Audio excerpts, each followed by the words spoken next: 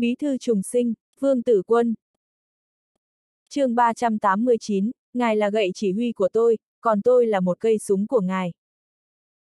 Một tràng pháo tay vang lên, lượt luyện tập cuối cùng đã xong, hiệu trưởng Phùng Tắc Minh thỏa mãn tiến lên cho những nữ sinh tham gia học tập một tràng pháo tay cổ vũ.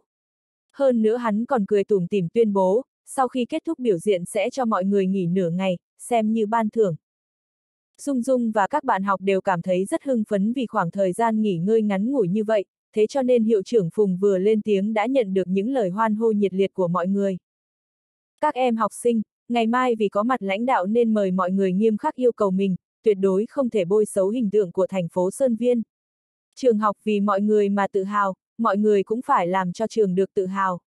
Đúng rồi, còn có một việc, chính là ngày mai diễn xuất thì mỗi người chỉ được mời một gia trưởng, lát nữa trường sẽ phát vé cho các học sinh, các vị gia trưởng sẽ vào trường bằng vé này. Đây là nhà trường suy xét trên phương diện an toàn, mong các học sinh hiểu và chấp hành cho. Vào trường bằng vé. Dung Dung đang bàn tán vui vẻ với các bạn học ở bên cạnh, bây giờ nghe thấy yêu cầu như vậy thì ngẩng đầu nhìn gương mặt nghiêm túc của hiệu trưởng Phùng, thế là trong lòng không khỏi cảm thấy thất vọng. Còn phải vào trường bằng vé, mình còn muốn mời mẹ và bà ngoại đi xem, phải làm sao bây giờ? Một nữ sinh dùng giọng bất mãn nói với Dung Dung, mà nhiều người khác cũng phàn nàn vì phát vé quá ít. Dù phàn nàn nhưng các học sinh cũng không dám đến than phiền với hiệu trưởng Phùng vì số vé quá ít, vì thế mà bọn họ phải tự giải quyết lấy vấn đề của mình. Dung Dung đứng chính giữa các bạn học, nàng cảm thấy rất thất vọng, thế cho nên khi bạn mình đưa vé vào trong tay, nàng hầu như tiếp nhận bằng hành động rất máy móc. Mình nên đưa vé này cho ai? Dung Dung nhìn vé trong tay mà không biết làm sao cho phải, cho mẹ đến hay cho anh Vương. Nàng thật sự cảm thấy rất do dự. Tan học về nhà, Dung Dung cảm thấy rất nặng nề, nàng chậm chậm chạy xe đạp, cuối cùng vẫn hạ quyết tâm đưa vé này cho mẹ mình, như vậy sẽ làm cho mẹ mình vui sướng. Chỉ là vì sao trong lòng nàng vẫn cảm thấy rất thất lạc. Audio điện tử võ tấn bền. Dung Dung thật sự muốn Vương Tử Quân đi xem nàng biểu diễn, rất muốn cho hắn được thấy hình ảnh nàng múa trong bộ trang phục xinh đẹp. Dung Dung về đến nhà mà cũng không về nhà mình, nàng đi đến trước cửa nhà Vương Tử Quân, nàng quyết định giải thích rõ ràng với Vương Tử Quân, nàng tin Vương Tử Quân sẽ hiểu cho mình.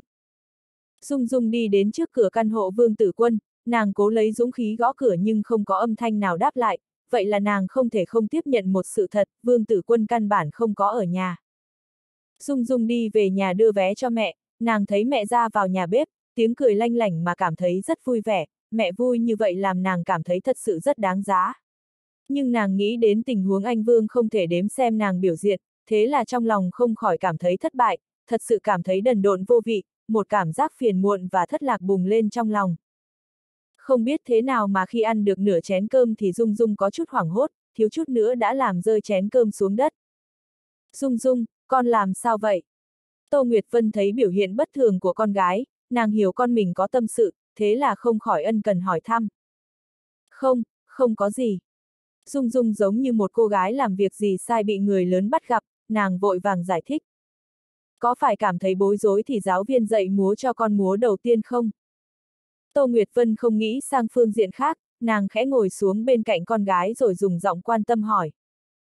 Dung Dung giữ im lặng, nàng cố gắng nuốt cảm giác thất vọng vào trong lòng, sau đó chỉ mờ mịt gật đầu với câu hỏi quan tâm của mẹ. Dung Dung đặt sách vở lên bàn, nàng cúi đầu, không dám nhìn mẹ ở bên cạnh. Lúc này nàng thật sự rất mệt mỏi, vẻ không tình nguyện hiện rõ trên mặt nàng. Mẹ, con xuống lầu xem đã khóa xe chưa? Dung Dung thấy đã đến 9 giờ, trong đầu nàng luôn là ý nghĩ muốn tìm giải thích rõ ràng với Vương Tử Quân, vì vậy nàng nhanh chóng lấy cớ và chạy xuống cầu thang. Chỉ sau vài bước chạy thì Dung Dung đã đi đến trước cửa phòng căn hộ của Vương Tử Quân, nàng có chút xúc động, sau đó lại gõ cửa với bộ dạng bất an. Nàng chờ mong âm thanh hùng hồn của Vương Tử Quân vang lên, mong cánh cửa mở ra dưới ánh mắt hy vọng của mình.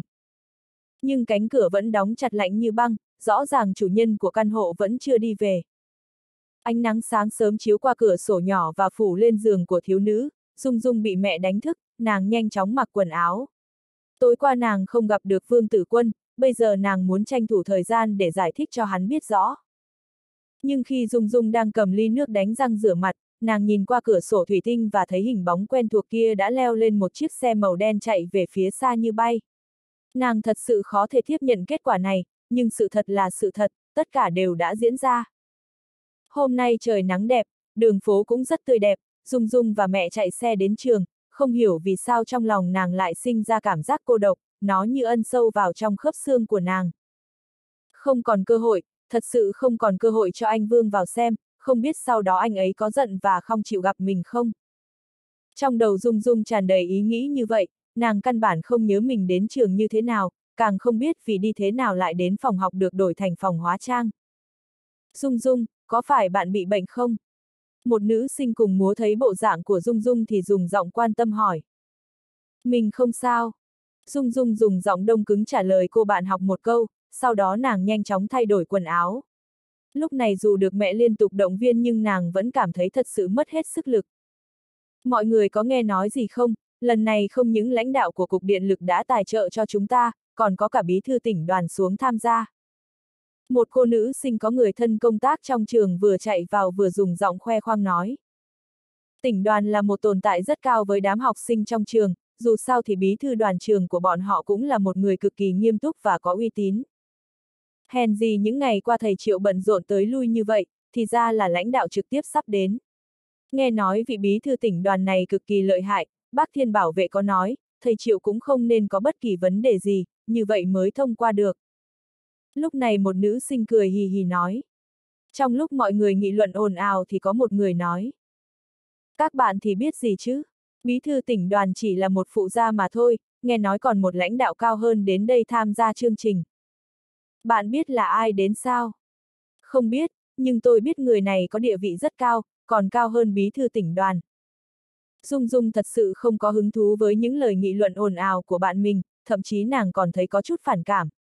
Nếu như không phải nhiều lãnh đạo đến tham gia, biết đâu nhà trường sẽ không hạn chế số người tham gia. Mà như vậy thì anh Vương sẽ được thấy nàng diễn xuất. Thời gian lặng lẽ trôi qua, sau khi kết thúc công tác tập luyện cuối cùng, cuối cùng cũng là lúc Dung Dung phải lên sân khấu. Nàng miễn cưỡng giữ vững tinh thần, được giáo viên dẫn dắt đi ra sân khấu. Thao trường đã được sắp xếp và sắp đặt từ ngày hôm qua, lúc này thật sự rất sạch sẽ và đẹp tươi, đủ loại duy băng tung bay, phụ trợ bầu không khí sôi nổi nhiệt liệt. Dung Dung, cậu nhìn kìa, người ngồi kia nhìn có vẻ quen quen. Khi Dung Dung đang cúi đầu bước đi thì cô bạn gái phía sau khẽ huính một cái, sau đó lại chỉ chỉ về phía đài chủ tịch.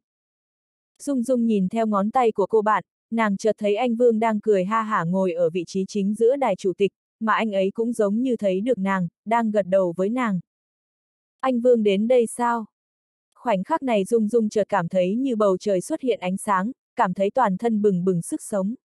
Nàng nhanh chóng đi ra sân khấu, lúc này nàng thật sự rất tự tin, nàng muốn đem những điệu múa tốt nhất đựa dậy để biểu hiện trước mặt Vương Tử Quân. Vương Tử Quân ngồi trên đài chủ tịch, hắn khẽ nói chuyện với Phó Cục trưởng Cục Điện lực là Chu Triệu Lôi ở bên cạnh, mà phía bên kia chính là một vị Phó Chủ tịch nắm công tác giáo dục ở thành phố Sơn Viên. Vị bí thư thành đoàn Sơn Viên vốn được mời làm lãnh đạo duy nhất tham gia chương trình, bây giờ chỉ có thể ngồi sang một bên mà thôi. Vương Tử Quân cũng chỉ có thể cười khổ với tình huống vào lúc này, theo như những gì hắn hiểu về chương trình này, đây chỉ là một hoạt động của thành đoàn thành phố Sơn Viên, căn bản không có lãnh đạo thành phố tham gia, mà tỉnh đoàn cũng không muốn phái người đến. Nhưng vì mình và Chu Triệu lôi dở cho tài trợ, thế là quy cách của chương trình tăng hẳn lên, thành phố Sơn Viên bên này còn phái một vị phó chủ tịch tham gia. Bí thư Vương, nhất trung là một trong những ngôi trường nổi tiếng đã lâu trong lịch sử phát triển của tỉnh Sơn Nam, hàng năm đều có rất nhiều học sinh thi đỗ vào các trường đại học nổi tiếng ở Bắc Kinh. Vị phó chủ tịch nắm công tác giáo dục của thành phố Sơn Viên là một nữ lãnh đạo, nàng chưa đến 50, bộ dạng bình thường nhưng năng lực công tác có thể nói là cực mạnh. Nếu là một phó chủ tịch thành phố, đặc biệt là phó chủ tịch một thành phố như Sơn Viên thì căn bản sẽ không cần khách khí với một phó bí thư tỉnh đoàn như Vương Tử Quân. Mục đích chủ yếu của nàng chính là đến kết nối quan hệ với phó cục trưởng cục điện lực Chu Triệu Lôi. Nhưng nhìn thấy lãnh đạo cục điện lực của tỉnh là Chu Triệu Lôi tỏ ra rất an phận, thế là nàng bắt đầu mở miệng dựa theo sắp xếp về vị trí của lãnh đạo tỉnh.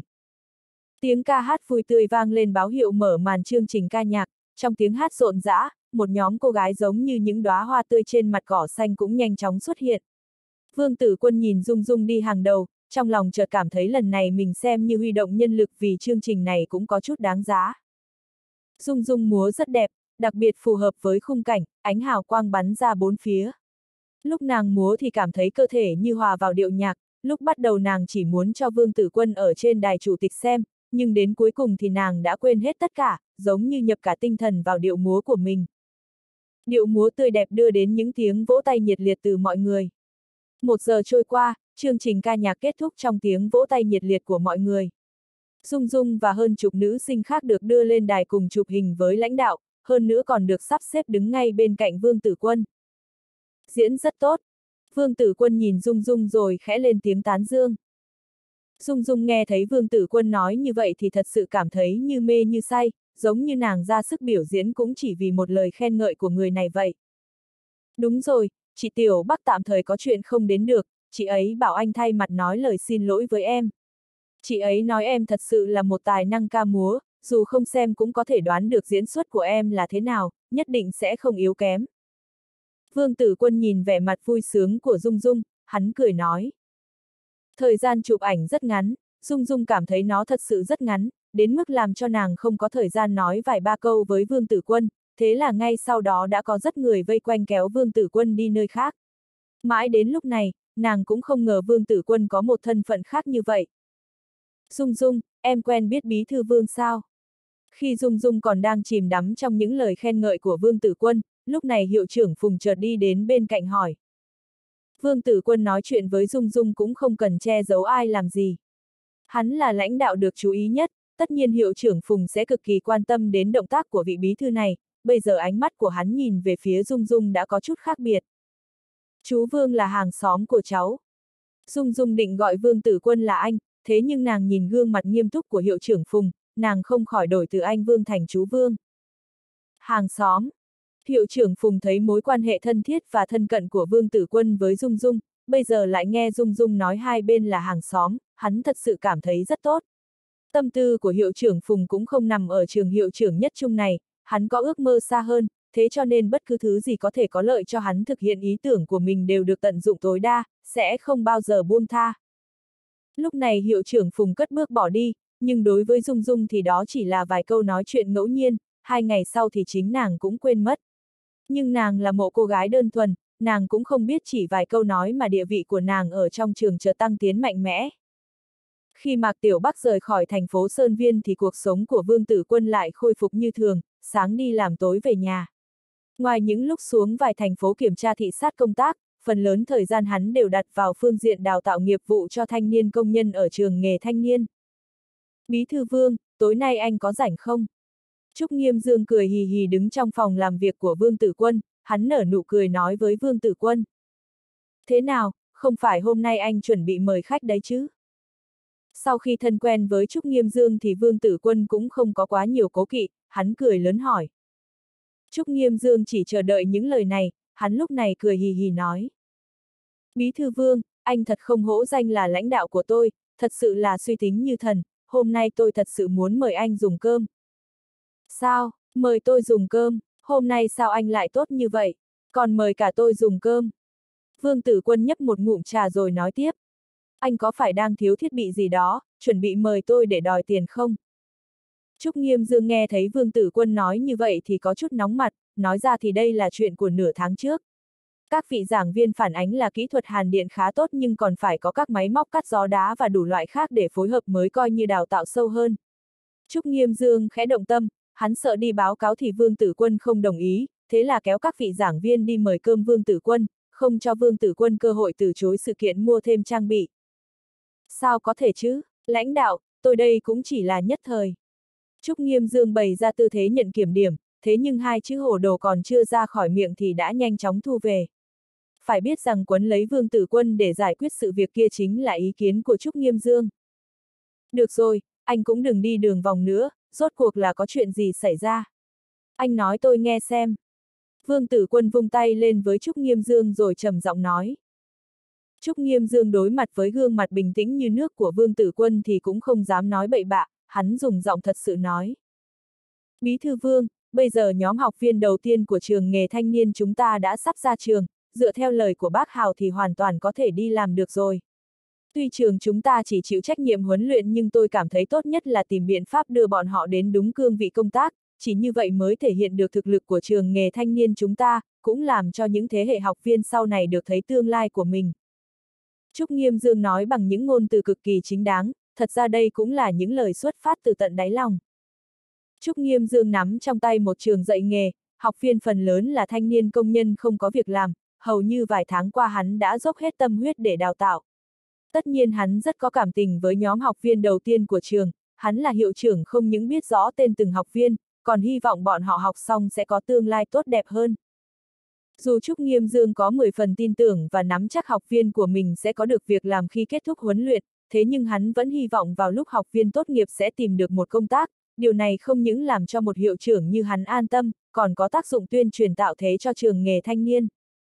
Vương Tử Quân nhìn gương mặt tràn đầy nóng bỏng của Trúc Nghiêm Dương mà khẽ lắc đầu, hắn không thích những hành động vì hình thức như vậy, điều hắn muốn chính là học viên tự đi tìm công tác, không phải là mình vung tay sắp xếp tất cả. Nhưng lúc này hắn cũng hiểu tâm tư của Trúc Nghiêm Dương, đó là một nhóm học viên đầu tiên được dạy nghề, ai không hy vọng bọn họ có tương lai tốt. Vương Tử Quân trầm ngâm một lát rồi vô thức gật đầu, hắn cảm thấy chuyện này có thể làm một lần, nhưng phải nắm chắc nguyên tắc, đó chính là lần sau không được làm theo kiểu này nữa. Trúc Nghiêm Dương, tôi sẽ sắp xếp, sẽ liên lạc với nhiều cơ sở phù hợp với những gì bọn họ đã được dạy ở địa phương. Nhưng chúng ta phải nói trước, chỉ một lần này thôi, lần sau không thể tiếp tục như vậy, nếu không thì chúng ta cũng không cần mở trợ việc làm cho thanh niên.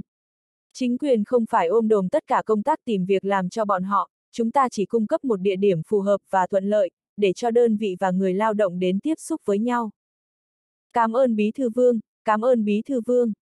Trúc Nghiêm Dương thấy Vương Tử Quân đồng ý thì trong lòng cực kỳ vui sướng, còn Vương Tử Quân sắp xếp ra sao thì hắn căn bản không cần lo lắng. Hắn đi theo Vương Tử Quân nhiều ngày, hắn không hiểu vì sao lại sinh ra cảm giác sùng bái mù quáng với Bí Thư Vương. Trúc Nghiêm Dương có vẻ nhẹ nhàng nhưng thật sự ra sự việc lần này đã làm Vương Tử Quân hao tổn khá nhiều tâm trí. Muốn sắp xếp công tác cho nhiều người, đặc biệt là đối với một nhóm công nhân Hàn, điều này cũng không phải việc khó với Vương Tử Quân, chỉ cần hắn mở miệng thì có nhiều người đồng ý giúp hắn giải quyết vấn đề. Nhưng sau này trường nghề thanh niên sẽ ngày càng đào tạo ra nhiều học viên, thế cho nên hắn sẽ không phải chỉ giải quyết tìm đường ra cho một hai người, điều này liên quan đến thể chế chính quyền.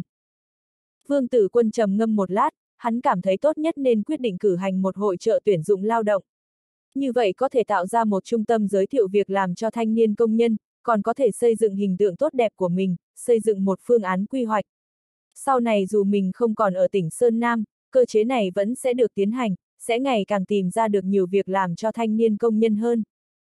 Vương tử quân thầm cho ra quyết định như vậy, hắn gọi điện thoại cho chủ nhiệm Đào Nghị Thăng của trung tâm giới thiệu việc làm cho thanh niên công nhân. Đào Nghị Thăng là một người đàn ông hơn 30, mái tóc trải chuốt bóng mượt. Tuy người này không cao thế nhưng lại rất có tinh thần, mỗi lần đến phòng làm việc của Vương Tử Quân đều nở nụ cười tươi giói hớn hở. Đừng nhìn vào bộ dạng ăn bản là vô hại của đối phương để sinh ra phán đoán sai lầm, đây là một người cực kỳ cẩn trọng, che giấu rất sâu. Vào lúc cạnh tranh hai vị phó chủ nhiệm của văn phòng tỉnh đoàn thì người này hầu như là một con ngựa đen, vào lúc mọi người không để ý, lại có lãnh đạo chào hỏi, cuối cùng hắn cũng được đẩy lên mục tiêu, lại nắm cả trung tâm giới thiệu việc làm cho thanh niên công nhân vào trong tay.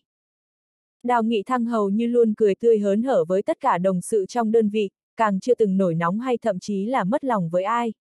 Thậm chí có lần Trúc Nghiêm Dương bàn với Vương Tử Quân về Đào Nghị Thăng, hắn từng dùng giọng hâm mộ nói, người này là kẻ có quan hệ tốt nhất tỉnh đoàn, thật sự có thể được gọi là một con rắn trơn tuột, cực kỳ lợi hại.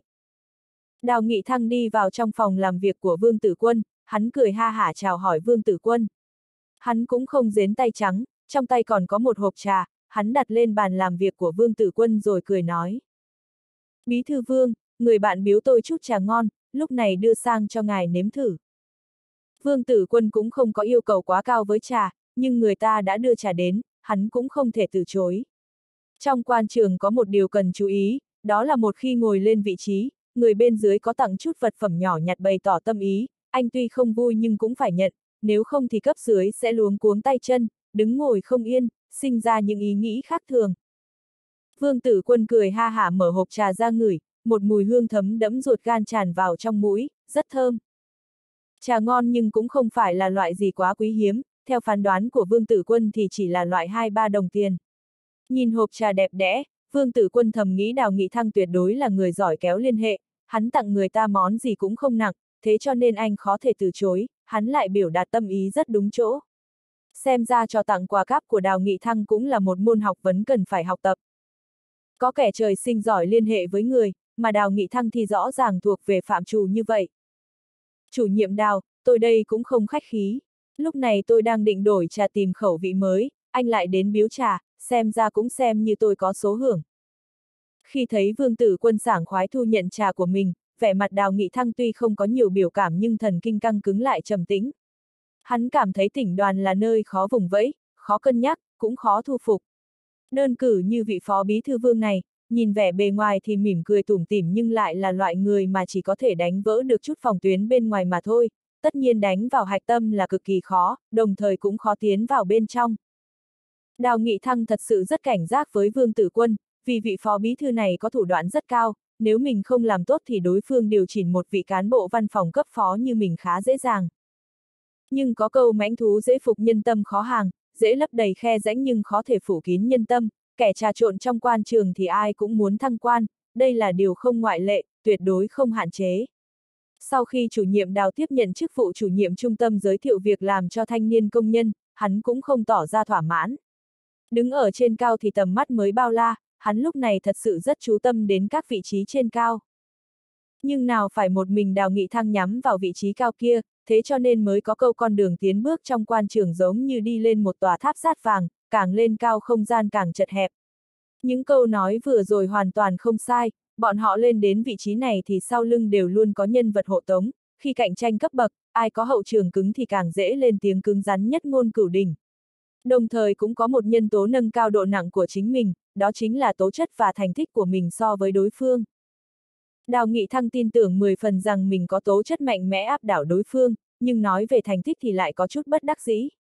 Dù hắn và Trúc Nghiêm Dương là như nhau, cũng có một trung tâm giới thiệu việc làm cho thanh niên công nhân trong tay, thế nhưng hắn lại không có đủ lo lắng về chiến tích của nó mang lại cho mình. Hai tháng đã qua, hắn cũng đã suy tư khá nhiều, nhưng hắn luôn không tìm được cửa khẩu đột phá phù hợp, rốt cuộc hắn phải ra tay từ đâu đây?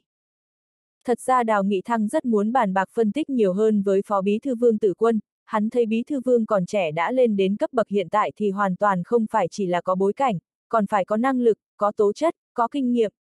Hắn cảm thấy các mối quan hệ là quan trọng nhất, Vương Tử Quân tất nhiên sẽ không thiếu các mối quan hệ như vậy, đồng thời hắn nghĩ rằng Vương Tử Quân có thể sáng nghiệp, có thể phát triển đến vị trí này ngoài mượn lực đẩy lực thì ít nhất tố chất bản thân cũng là cực cao. Thế là Đào Nghị Thăng muốn đến gần Vương Tử Quân vô hạn, nhưng Vương Tử Quân quá bận rộn, bận đến mức mỗi lần Đào Nghị Thăng đến tìm đều sinh ra cảm giác như mình làm phiền lãnh đạo. Nếu như mình không có gì hay để bàn luận, sẽ làm Vương Tử Quân sinh ra phản cảm, còn không bằng để cho lãnh đạo được yên tĩnh. Bây giờ Vương Tử Quân cho gọi Đào Nghị Thăng, điều này không khác nào ban cho Đào Nghị Thăng một ân huệ lớn. Hắn đã sớm chuẩn bị trà biếu cho Vương Tử Quân, bây giờ cầm theo hộp trà và dạo dực đi đến phòng làm việc của Vương Tử Quân.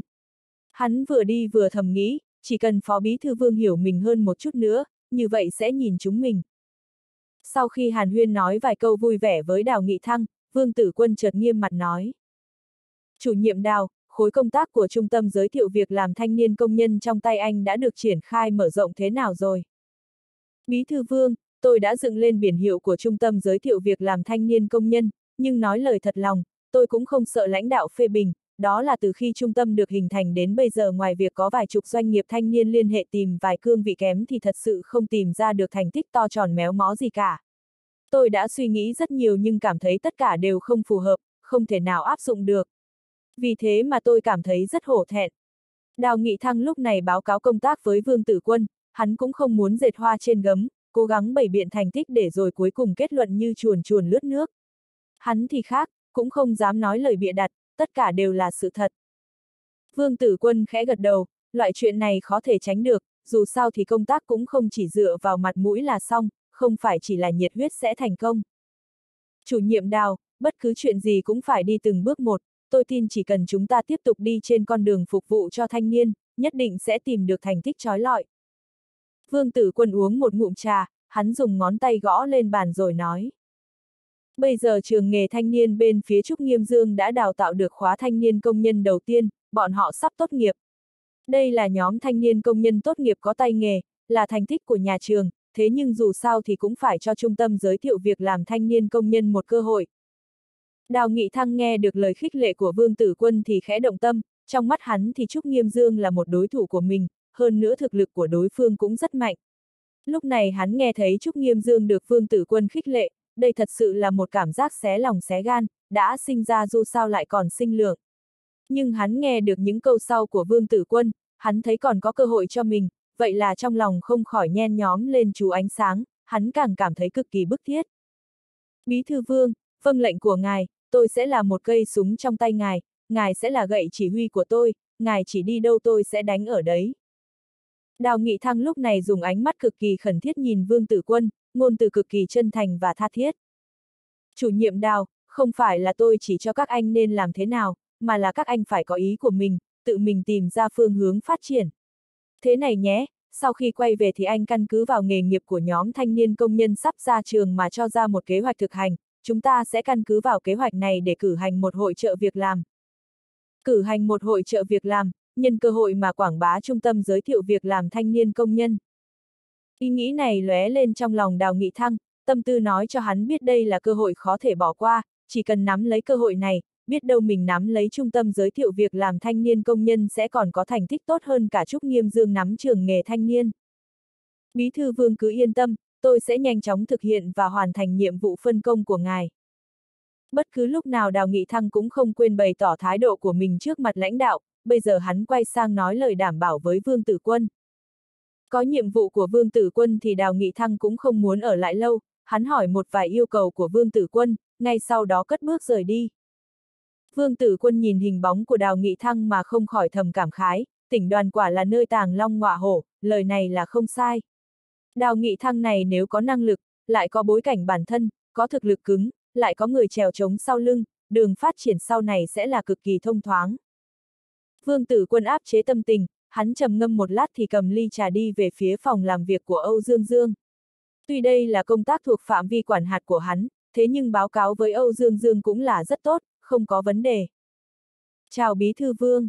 Khi thấy Vương Tử Quân đi đến, thư ký Trung Địch Hồng nhanh chóng tiến lên trợ giúp Vương Tử Quân gõ cửa phòng làm việc của Âu Dương Dương. Âu Dương Dương mặc một bộ đồng phục công sở màu đen, lúc này nàng đang ngồi trong phòng làm việc xem xét văn kiện. Khi thấy Vương Tử Quân đi vào thì nàng cười lớn.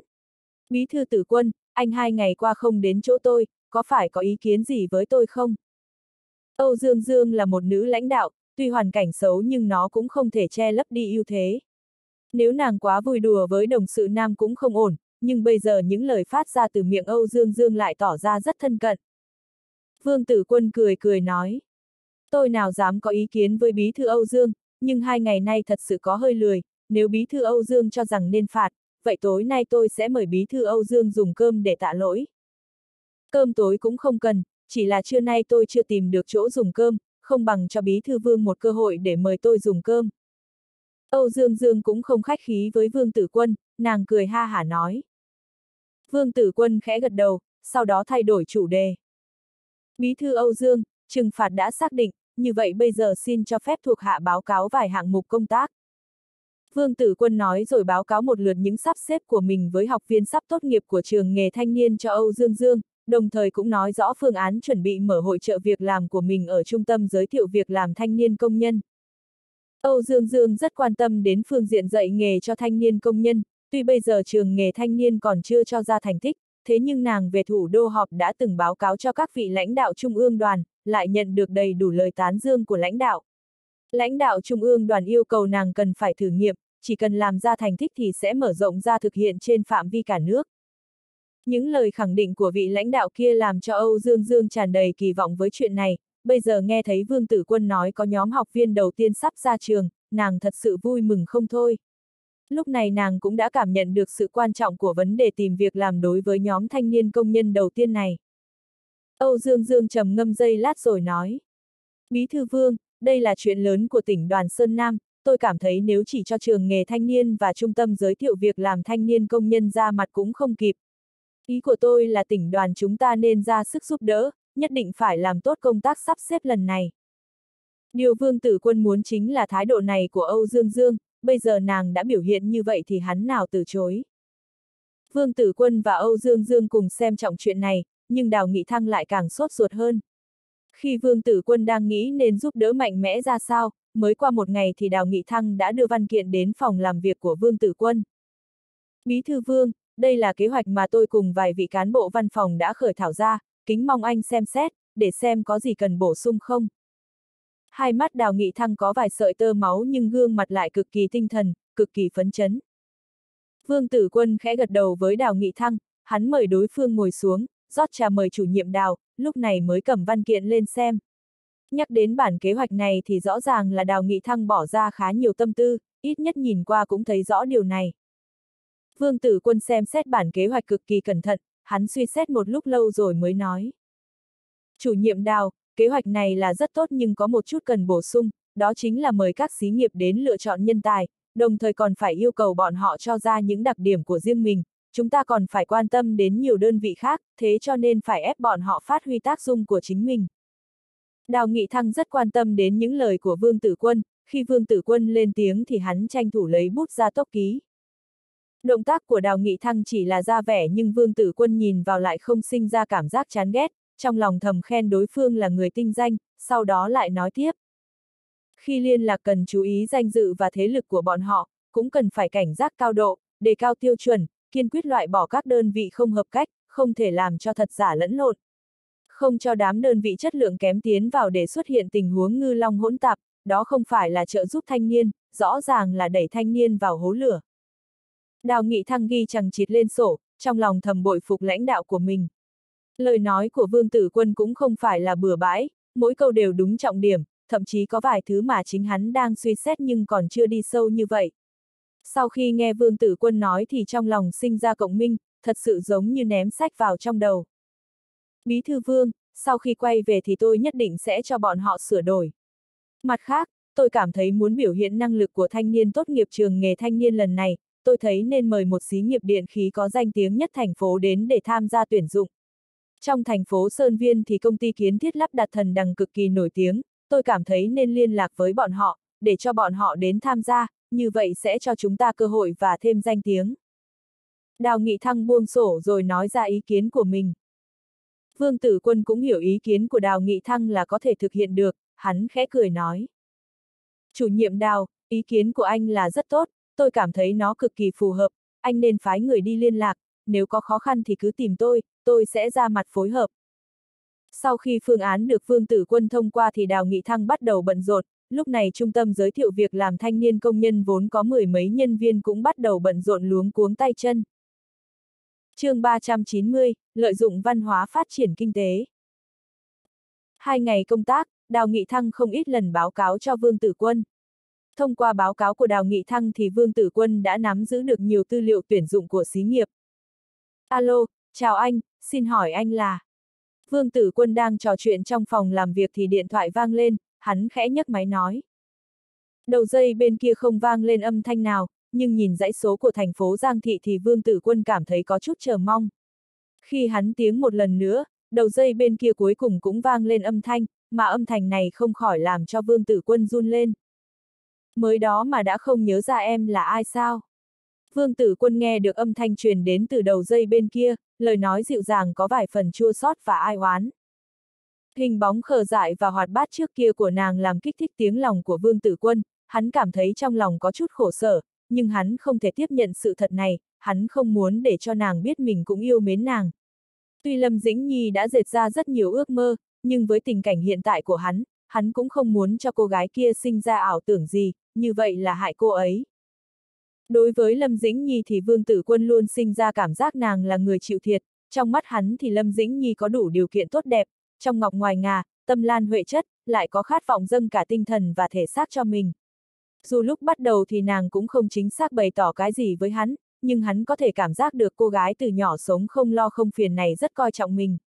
Cô gái này ném cho hắn ánh mắt nóng hừng hực không chút che giấu, không hề che giấu tình cảm ấm áp của mình với hắn. Dù Vương Tử Quân đã vô số lần nói với chính mình, dù là tuổi tác hay trên phương diện kinh nghiệm tình cảm thì hắn và Lâm Dĩnh Nhi cũng có một hố sâu ngăn cách quá lớn, nhưng hắn thật sự khó thể nào kháng cự tình cảm rừng rực đến từ một cô gái vĩ đại như vậy. Trong suy nghĩ mâu thuẫn của hắn thì Lâm Dĩnh Nhi giống như một chút chim vui vẻ hạnh phúc, làm cho cuộc sống của mình lóe lên những luồng hào quang tốt đẹp. Hắn tình nguyện coi nàng là em gái và che chở cho nàng, nhưng hắn không thể nào coi nàng là người yêu của mình. Nàng cũng ngẫu nhiên xuất hiện trong giấc mộng của hắn, đó là một tình cảnh rất lãng mạn, nàng mặc áo cưới màu trắng, hắn ôm lấy nàng, một nụ hôn thật sâu, một cơ thể sáng láng, nhẵn nhụi, mềm mại trong tầm tay. Nghe nói từ sau khi Vương Tử Quân kết hôn thì cô gái này đã u buồn ở trong nhà một khoảng thời gian khá dài, Vương Tử Quân đến nhà ông nội mà chưa từng gặp lại nàng.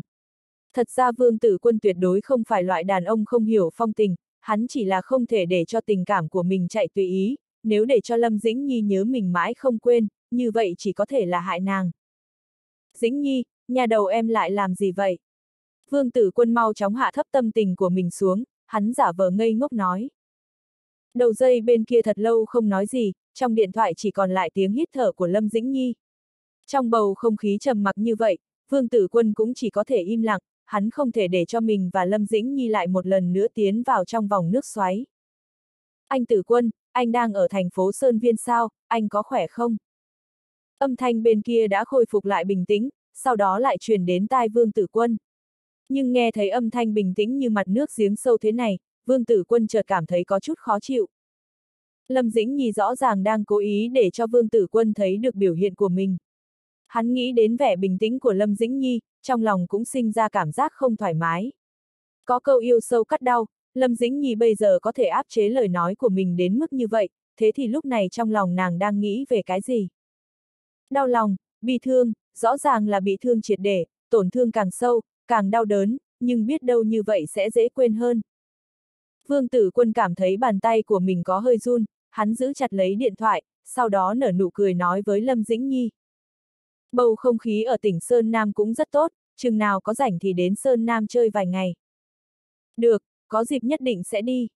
Âm thanh của Lâm Dĩnh Nhi vang lên kèm theo chút vui mừng, nhưng ngay sau đó thì nàng lại rơi vào trạng thái trầm mặc. Vương Tử Quân không cúp điện thoại, cũng không nói gì, hắn chỉ lặng lặng như vậy, chờ Lâm Dĩnh Nhi tiếp tục lên tiếng. Anh Tử Quân, anh còn nhớ Giang Gia Kỳ không? Lâm Dĩnh Nhi trầm ngâm một lát, sau đó nàng lên tiếng. Giang Gia Kỳ, Vương Tử Quân nghe cái tên kia và trong lòng lập tức nghĩ đến tình huống Lâm Dĩnh Nhi đến huyện Lô Bắc, hình như là đến nhà cô gái Giang Gia Kỳ kia. Bây giờ nghe thấy Lâm Dĩnh Nhi nhắc đến Giang Gia Kỳ, hắn chợt thở dài một hơi, giống như chính mình vừa vượt qua một cửa ải vậy. Thế nào mà quên được, cô ấy làm sao vậy? Vương Tử Quân dùng giọng vui vẻ thoải mái nói. Anh đúng là vô lại, trước nay gặp mỹ nữ thì nhớ mãi không quên. Em nói cho anh biết, em cũng là đại mỹ nữ đấy nhé. Lâm Dĩnh Nhi dùng giọng có chút trách cứ nói, âm thanh này truyền đến giống như Vương Tử Quân quay về thời điểm trước kia, thời điểm mà hắn còn mối quan hệ mật thiết với Lâm Dĩnh Nhi.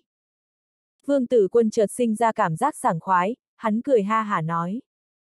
Lâm Dĩnh Nhi, em cũng không nên vụ oan anh như vậy, anh luôn là người thành thật. Người thành thật, anh nói ngày đó mình thành thật sao? Một giọng nói nhẹ nhàng từ đầu dây điện thoại bên kia truyền đến, tuy Lâm Dĩnh Nhi cũng không nói gì tiếp theo thế nhưng gương mặt già nua của Vương Tử Quân lại có chút ửng hồng, hắn hiểu nàng đang nói về vấn đề gì. Điều này, điều này, anh đã quên. Vương Tử Quân thật sự không phản bác được, hắn dùng giọng quanh co nói. Có phải là rất thích như vậy không? Một giọng điệu có vài phần khuyến khích vang lên từ đầu dây bên kia, âm thanh này giống như lời ác ma, làm cho người ta chợt rơi vào trạng thái say mê. À, biết đâu. Vương tử quân đáp lại một câu, nhưng lời vừa ra khỏi miệng thì thật sự có chút hối hận, lời nói này của hắn cũng không quá hay ho gì, chỉ là lời vừa ra khỏi miệng thì thật sự đã như nước đổ khó hốt. Âm thanh của Lâm Dĩnh Nhi lại vang lên từ đầu dây bên kia. Anh đúng là bại hoại. Nhưng khi Vương Tử Quân không biết nên đáp trả lại thế nào thì đầu dây bên kia lại vang lên một âm thanh rất khẽ. Nhưng nếu anh thích thì cũng có thể. Vương Tử Quân nghe những lời này thì thiếu chút nữa đã đánh rơi điện thoại, cái này là sao? Khi hắn đang chuẩn bị thể hiện uy phong của một người anh, đanh định cúp máy không tiếp tục trò chuyện thì Lâm Dĩnh Nhi ở đầu dây bên kia đã nói. Anh Tử Quân, nhà của Giang Gia Kỳ đã xảy ra chuyện, anh của cô ấy chạy xe máy bị một tên say rượu tông phải. Nhưng người kia có người thân công tác trong ngành, rõ ràng đổi trắng thay đen, đẩy trách nhiệm về phía nhà Giang Gia Kỳ. Sau khi Lâm Dĩnh Nhi nói rõ mục đích gọi điện thoại thì Vương Tử Quân thở dài một hơi. Nhà của Giang Gia Kỳ ở huyện Lô Bắc, sự việc này đối với Vương Tử Quân thì căn bản sẽ dễ dàng như một bữa ăn sáng mà thôi. Anh biết rồi. Vương Tử Quân trầm giọng nói vào trong điện thoại. Biết rồi sao, anh nói vậy là có ý gì? Anh cũng đừng nói với em theo kiểu cách của bố em chứ. Nếu Lâm Trạch Viễn thật sự biết được con gái nói ra lời như vậy, tin chắc thế nào cũng sẽ không bỏ qua cho Vương Tử Quân. Vương Tử Quân vô thức đưa tay vuốt mũi, thật sự là không có cách nào khác. Hắn đành hạ điện thoại xuống thấp nói. Chuyện này em cứ yên tâm, trách nhiệm của ai thì người đó sẽ không thể chạy thoát, anh sẽ vì em mà điều tra sự việc cho rõ ràng. Lâm Dĩnh Nhi nghe thấy Vương Tử Quân nói như vậy thì mới thỏa mãn cúp điện thoại. Vương Tử Quân lại hàn huyên vài câu với vị đồng sự ngồi trong phòng làm việc của mình, sau khi người kia thức thời bỏ đi thì Vương Tử Quân gọi điện thoại cho Tiếu Tử Đông. Tiếu Tử Đông thật sự rất chú ý đến số điện thoại của Vương Tử Quân, khi vừa nhận được điện thoại của Vương Tử Quân thì vội vàng gọi một tiếng bí thư Vương. Bây giờ Tiếu Tử Đông đang phát triển rất mạnh mẽ ở huyện Lô Bắc, tuy đã là chủ tịch huyện, là lãnh đạo đứng hàng thứ hai trong huyện, thế nhưng vì có sự giúp đỡ của Trịnh Đông Phương, vì thế mà quyền nói chuyện ở trong huyện cũng không thua kém gì bí thư huyện ủy. Vương Tử Quân cũng không khách khí với Tiếu Tử Đông, sau khi Hàn Huyên về hiện trạng hiện tại của huyện Lô Bắc, hắn nhanh chóng nói ra sự việc của Lâm Dĩnh Nhi. Tất nhiên hắn yêu cầu Tiếu Tử Đông phải điều ra rõ ràng rồi nói sau, không phải vì mình lên tiếng mà xử lý nghiêng về một phía theo kiểu không phân biệt tốt xấu. Lão lãnh đạo, anh cứ yên tâm, tôi nào không biết phong cách làm việc của anh. Anh cứ yên tâm, tôi nhất định sẽ điều tra rõ ràng, sẽ cho người nắm bắt thật tốt, trắng sẽ không đen, mà đen sẽ không thể nào trắng được. Tiếu tử đông lên tiếng đảm bảo, sau đó hắn chân thành mời Vương Tử Quân đến huyện Lô Bắc chơi hai ngày, nói cán bộ nhân dân huyện Lô Bắc đều hy vọng Vương Tử Quân xuống thăm thú một lần. Vương Tử Quân gọi điện thoại cho Tiếu Tử Đông thật sự rất vui vẻ thoải mái. Hắn đặt điện thoại xuống, tranh thủ tâm tình đang vui vẻ để pha một ly trà rồi ngồi xuống nghỉ ngơi. Đúng lúc này Đào Nghị Thăng gõ cửa đi vào, gương mặt của hắn thật sự rất nghiêm túc. Bí thư Vương, tôi có chuyện cần báo cáo với anh. Đào Nghị Thăng đứng trước mặt Vương Tử Quân rồi trầm giọng nói. Vương Tử Quân mời Đào Nghị Thăng ngồi xuống, sau đó ném cho đối phương một điếu thuốc, lẳng lặng chờ đối phương lên tiếng. Bí thư Vương, chỉ sợ chúng ta không thể nhờ cậy vào công ty kiến thiết lắp đặt thần đằng, tôi đã ba lần bảy lượt liên hệ với văn phòng công ty của bọn họ, bản thân tôi cũng đã đến một chuyến, nhưng bọn họ đều nói công ty rất bận, thật sự không thể nào đến tham gia hội trợ việc làm của chúng ta được. Đào Nghị Thăng nói thật sự rất huyền chuyển, nhưng Vương Tử Quân nghe vào tai và biết vị chủ nhiệm vui buồn không lộ ra vẻ mặt kia đang cực kỳ tức giận. Nếu so sánh với Đào Nghị Thăng thì Vương Tử Quân càng bình tĩnh hơn, hắn cảm thấy xí nghiệp từ chối là đặc quyền của bọn họ, hắn trầm ngâm một lát rồi nói. Chủ nhiệm Đào, bọn họ vì sao lại từ chối? Bí thư Vương, người phụ trách của công ty nói rằng quá bận nghiệp vụ, không có thời gian tham gia hội trợ việc làm của chúng ta. Hơn nữa công nhân Hàn của công ty cũng đã đủ, trước mắt thật sự không còn vị trí nào trống. Đào Nghị Thăng nhìn vẻ mặt bình tĩnh của Vương Tử Quân, trong lòng thầm nghĩ, có lẽ vị bí thư này nhất định sẽ tỏ ra tức giận với thái độ của công ty kia, biết đâu sẽ lấy thịt đè người, sẽ cho công ty thần đằng kia một bài học, nhưng không ngờ bí thư vương lại quá bình tĩnh tự nhiên như vậy. Xem ra đây chính là điểm mạnh của bí thư vương so với mình. Đào Nghị Thăng nhìn gương mặt của Vương Tử Quân, trong lòng thầm cho ra suy đoán như vậy. Vậy anh đã nói rõ mục đích của chúng ta chưa? Vương Tử Quân khẽ gõ ngón tay xuống bàn rồi hỏi tiếp. Bí thư Vương, dù là tôi hay nhân viên công tác của trung tâm cũng đã nói rất rõ ràng với bọn họ, nhưng dù chúng tôi có mở miệng nói thế nào thì bọn họ cũng căn bản không chấp nhận, giống như thật sự không muốn dính vào vậy. Đào Nghị Thăng trầm ngâm một lát, sau đó giọng điệu cũng dần khôi phục lại vẻ bình tĩnh vốn có. Không thèm quan tâm, Vương Tử Quân chợt trầm ngâm, hắn thấy bây giờ mình thiếu đồ tể, chẳng lẽ phải ăn thịt heo còn lông. Những người công ty thần đằng không tham gia, chúng ta có thể tìm đến công ty khác. Nhưng hắn nhìn bộ dạng của Đào Nghị Thăng, giống như không lôi kéo được công ty thần đăng kia thì khó thể nào bỏ qua. Đối với ý kiến của thủ hạ, có đôi khi cần phải phủ quyết, nhưng nói chung biện pháp tốt nhất vẫn là đồng ý. Bây giờ ý nghĩ của Đào Nghị Thăng có chút bá đạo nhưng Vương Tử Quân lại cảm thấy vẫn có thể cố gắng được. Bọn họ có phải đang thật sự bận rộn nghiệp vụ không? Vương Tử Quân thầm có tính toán, hắn lại trầm giọng hỏi Đào Nghị Thăng. Chỉ có công nhân đang thi công thì bận rộn thôi, nghe nói đang làm giá thép cho công trình bái tổ đài, nhưng bái tổ đài cũng sắp hoàn công, mà chúng ta cũng không yêu cầu công nhân của bọn họ đến tham gia hội trợ việc làm. Đào Nghị Thăng nói đến đây thì có chút do dự, sau đó nói rõ mục đích của mình với Vương Tử Quân. Bí thư Vương, ngài nói xem có phải bọn họ thấy chúng tôi cấp bậc quá thấp, thế cho nên cần lãnh đạo phải tự mình đến nói chuyện thì hay hơn. Đào nghị thăng này dùng giọng điệu lòng vòng để lên tiếng, vương tử quân sao không hiểu rõ mục đích của đối phương. Nhưng dù hiểu thì hắn cũng không định từ chối, hắn cười cười nói. Tôi cảm thấy rất có khả năng này, nếu không thì thế này, anh tìm thời gian phù hợp để hẹn với giám đốc của bọn họ, hai người chúng ta sẽ đến bái phòng. Tuy bọn họ không nhất định sẽ thông báo tuyển dụng người của chúng ta, thế nhưng có mặt bọn họ cũng làm cho khí thế hội trợ việc làm tăng cao. Đào Nghị Thăng nghe thấy Vương Tử Quân tán thành ý kiến của mình thì không khỏi thở dài một hơi, không biết từ lúc nào mà hắn đã bắt đầu đặt nặng ý kiến của Bí Thư Vương. Bí Thư Vương nói rất đúng, như vậy chúng ta sẽ nể mặt bọn họ một lần nữa. Đào Nghị Thăng nói, rõ ràng lời nói có ý xuyên tạc Vương Tử Quân, nhưng khi nhìn bộ dạng cười ha hả của Đào Nghị Thăng thì Vương Tử Quân cũng nở nụ cười nhàn nhạt. Sau vài ngày tiếp xúc thì Đào Nghị Thăng chủ động dựa về phía Vương Tử Quân, những ngày nay hắn chạy đến văn phòng của văn phòng còn nhiều hơn số lần đến phòng làm việc của các vị phó bí thư khác trong thời gian trước. Hơn nữa hai người nói chuyện rất phù hợp, càng mất đi vẻ gò bó.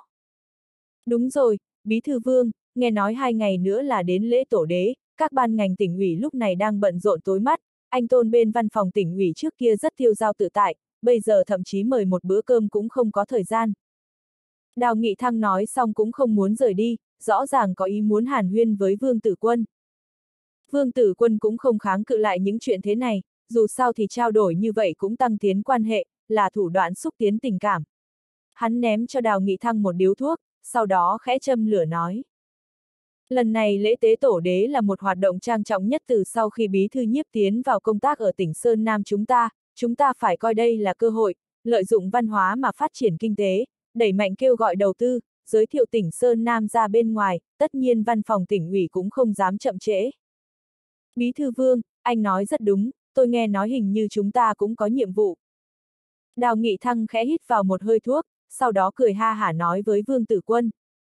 Tất nhiên là có nhiệm vụ, anh không thấy bây giờ bí thư Âu Dương đang bận rộn không chút thời gian rảnh sao.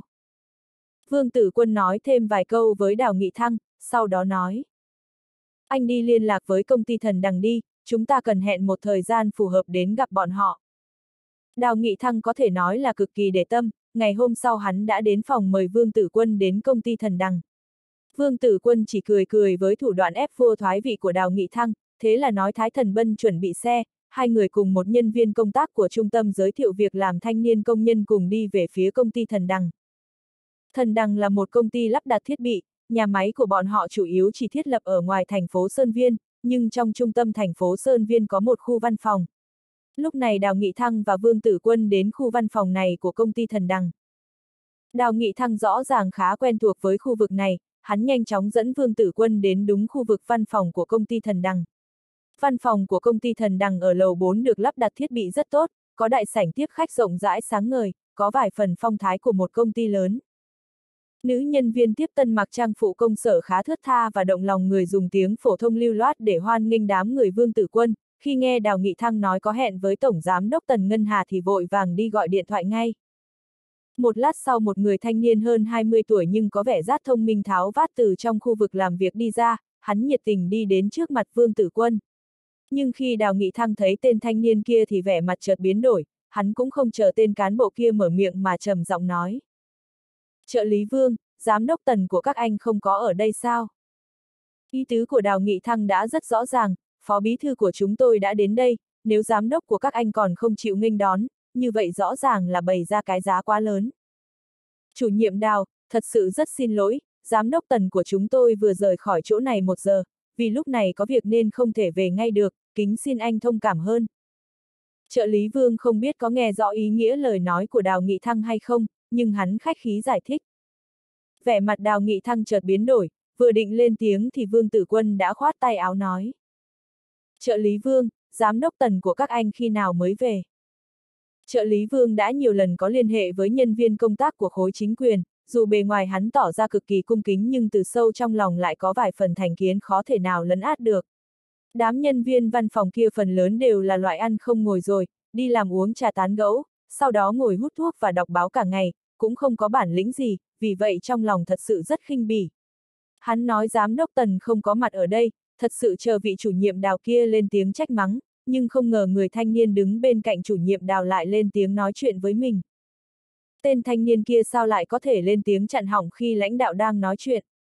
Xem ra loại cán bộ không có mắt thế này cũng khó thể nào phát triển gì cho ra hồn ở trong đơn vị. Trợ lý vương cũng có chút hiểu biết về tự tôn nghiêm về đẳng cấp trong quan trường, hắn cho ra một phán đoán như vậy với hành vi liều lĩnh của vương tử quân, sau đó khẽ nói.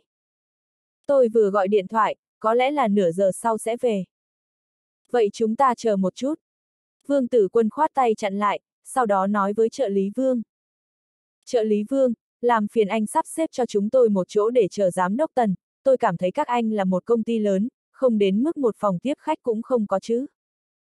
Trợ lý vương lúc này mới cảm thấy không giống, vị chủ nhiệm đào có 10 phần khí khái quan trường kia lại không có ý dở giọng với tên cán bộ thanh niên dám lên tiếng chặn họng mình, hơn nữa nhìn qua lại thấy rất vâng lời, giống như tên cán bộ thanh niên này là thượng cấp vậy. Thượng cấp sao? Sao có thể được, mình có thể ngồi vào vị trí này ở trong xí nghiệp cũng được gọi là thiếu niên anh tài, cơ quan lại càng là nơi nhân tài đông đúc, muốn phát triển mạnh mẽ mà không có bản lĩnh là không thể được. Trợ lý vương khẽ lắc đầu, hắn thật sự không suy đoán được thân phận của vương tử quân, lúc này chỉ có thể dẫn đám người vương tử quân đến ngồi trong một gian phòng khách. Nơi này đã sớm có nữ nhân viên công tác pha trà rót nước, sau đó bọn họ đi ra ngoài.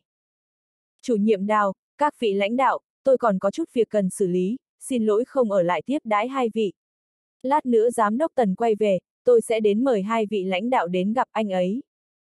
Trợ lý vương nói thêm vài câu khách khí, sau đó cười ha hả nói với nhóm vương tử quân.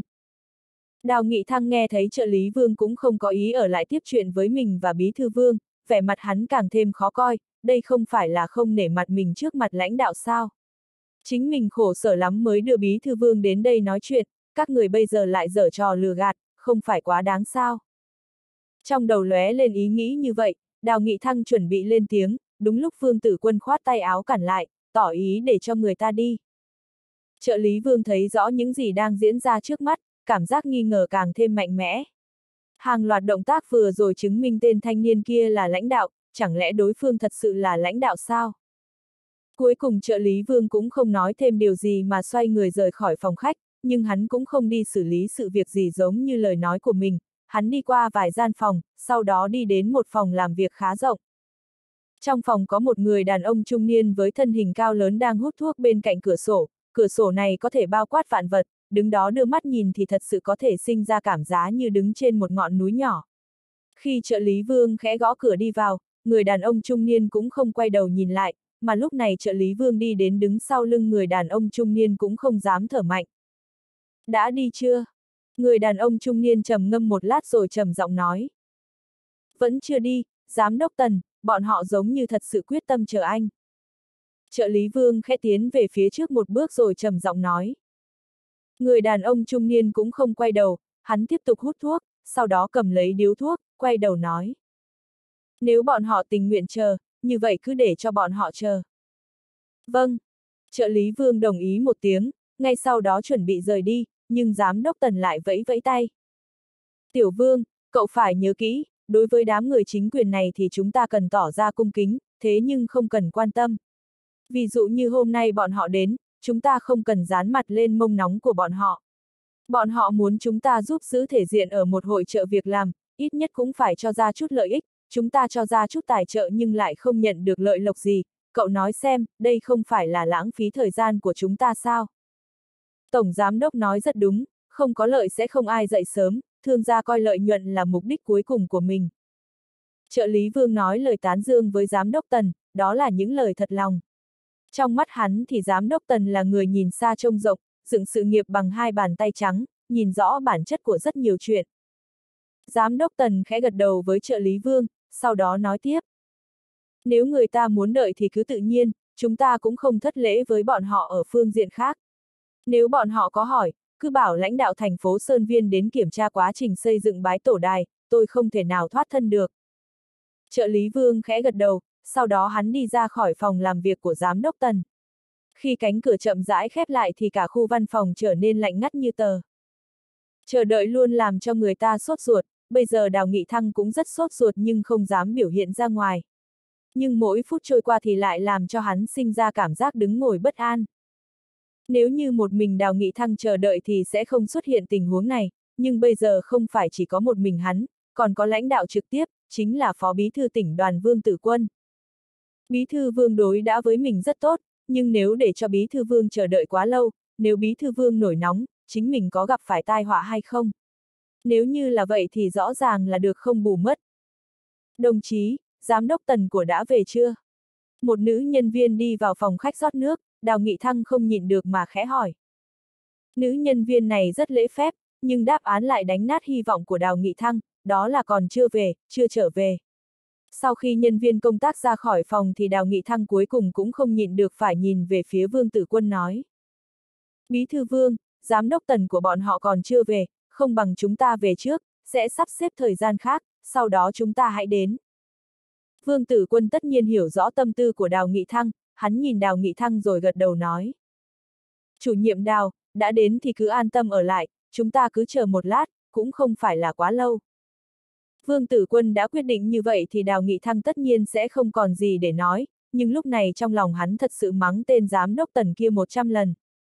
Lại là nửa giờ trôi qua, Vương Tử Quân vẫn lẳng lặng uống trà, ngẫu nhiên lại trò chuyện với Đào Nghị Thăng về vài sự việc ở trung tâm giới thiệu việc làm thanh niên công nhân, nhưng lúc này Đào Nghị Thăng đã thật sự khó thể nào bình tĩnh được nữa. Cốc, cốc, cốc. Tiếng gõ cửa vang lên, trợ lý Vương đẩy cửa đi vào. Khi thấy trợ lý Vương thì Đào Nghị Thăng giống như gặp cứu tinh, hắn lên tiếng. Trợ lý Vương, có phải giám đốc Tần đã quay về rồi không? Thật xin lỗi, chủ nhiệm Đào, giám đốc Tần vừa gọi điện thoại về, nói rằng lãnh đạo thành phố Sơn Viên xuống kiểm tra tình huống xây dựng ở bái tổ đài, anh ấy không thể nào phân thân được, thế nên kính xin bí thư vương và chủ nhiệm đào thứ lỗi cho. Trợ lý vương nở nụ cười nghề nghiệp rồi khẽ lên tiếng nói. Không thể quay về, không phải các người đang dở trò đùa giỡn sao. Trong lòng đào nghị thăng bùng lên cảm giác tức giận, hắn trợn trừng mắt, khi chuẩn bị lên tiếng thì lại nghe vương tử quân nói. Chủ nhiệm đào, nếu giám đốc tần đã bận rộn như vậy, chúng ta nên đi thôi. Trợ lý vương đã sớm đoán được phản ứng của đào nghị thăng, cũng đã biện pháp ứng phó, nhưng hắn thật sự không ngờ thái độ của vương tử quân. Lúc này hắn đã hiểu tên cán bộ trẻ tuổi kia là thủ trưởng của chủ nhiệm đào, cũng không ngờ đối phương lại dễ nói chuyện như vậy. Trợ lý vương, thật sự làm phiền anh. Khi trợ lý vương còn chưa kịp phản ứng thì vương tử quân đã cười cười, sau đó lại đưa tay với trợ lý vương. Trợ lý vương bắt tay với vương tử quân theo bản năng, sau đó hắn đưa mắt nhìn nhóm người vương tử quân rời khỏi công ty của mình. Tuy tình huống này hắn chưa từng trải qua, thế nhưng phản ứng của vị lãnh đạo trẻ tuổi kia vào hôm nay mới thật sự làm hắn cảm thấy bất ngờ. Trợ lý vương khẽ lắc đầu, hắn cũng không muốn tiếp tục suy nghĩ về vấn đề này, hắn chỉ là một người làm công, việc gì lớn sẽ có lãnh đạo ra mặt. Tiểu vương, người đi rồi sao?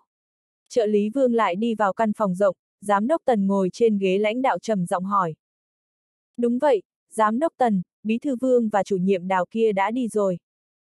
Trợ lý vương cung kính đứng bên cạnh giám đốc tần, hắn trầm giọng nói rõ sự việc vừa xảy ra. Giám đốc tần đang ung dung hút thuốc, lúc này gương mặt chợt trầm xuống, hắn khẽ gạt tàn rồi trầm giọng nói. Cậu nói vị bí thư vương kia đi ra mà không nổi giận sao? Đúng vậy, bí thư vương kia là lãnh đạo của chủ nhiệm đào, không ngờ lại có một vị lãnh đạo trẻ tuổi như vậy. Trợ lý vương nói xong thì chợt cảm thấy những lời như vậy đáng lý không nên phát ra khỏi miệng mình mới đúng. Trợ lý vương có chút sợ hãi, hắn dùng ánh mắt chú ý nhìn giám đốc tần, phát hiện giám đốc tần đang trầm tư, cũng không quan tâm đến mình, thế là thầm thở dài một hơi. Lãnh đạo trẻ tuổi, lại có khí độ như vậy. Giám đốc tần chợt cau mày, vẻ mặt hắn chợt trở nên trịnh trọng, một lúc lâu sau mới thở dài nói. Biết vậy tôi sẽ gặp mặt hắn ta một lần. Khi giám đốc tần đang thở dài lên tiếng thì đào nghị thăng ngồi trong xe nói. Bí thư vương, công ty thần đằng này thật sự quá mức, không gặp thì nói không gặp, còn bắt chúng ta ngồi chờ không công, đây không phải là chẳng coi tỉnh đoàn chúng ta ra gì sao. Trên mặt vương tử quân vẫn treo nụ cười nhàn nhạt, hắn cũng thầm hiểu ý nghĩ của đám người trong công ty thần đằng, đó là không muốn hợp tác với mình. Bọn họ đang dùng phương pháp này để nói cho người mình biết khó mà lui. Tuy loại phương pháp này làm cho hắn cảm thấy có chút không thoải mái, nhưng hắn cũng không muốn vì vậy mà trở mặt thành thù, trở tay thi triển chút thủ đoạn nho nhỏ. Thôi bỏ, không hợp tác với chúng ta sẽ là tổn thất của bọn họ, thành phố Sơn Viên chúng ta cũng không phải chỉ có một công ty thần đằng, đổi thành công ty khác là được. Vương Tử Quân khẽ khoát tay cười nói với Đào Nghị Thăng. Khi Vương Tử Quân lên tiếng thì một ngọn gió thổi bùng lên, gió thổi vào góc tường và trở nên cuồn cuộn, gió cuốn vài túi nhựa bay bổng lên, một lực lượng cực lớn nhấc bổng rác thải lên giữa không trung. Nhiều cơn gió như vậy tập trung lại càng làm cho cơn lốc có thêm sức mạnh mới, bụi đất bị cuốn lên ngùn ngụt, một con lốc xoáy cực lớn hình thành. Khoảnh khắc này giống như cả thành phố Sơn Viên đều xuất hiện nhiều luồng gió trướng như vậy. Vương Tử Quân ngồi trong tổ ấm của mình và Trương Lộ Giai, hắn nhìn những cột gió xoáy lớn, sau đó thầm nghĩ những bây giờ gió lớn thổi quá mạnh, chỉ sợ sau đó có tình huống bất thường gì đó xảy ra. Trước nay con người luôn chán ghét thiên tai, bây giờ gió lớn nổi lên, sợ rằng nếu có mưa thì sẽ rất lớn. Tử quân, ăn cơm đi. Trương Lộ dai mặc một bộ trang phục trong nhà, thật sự rất quyến rũ, trong tay nàng là hai món xào, nàng mỉm cười hô lên với Vương Tử Quân.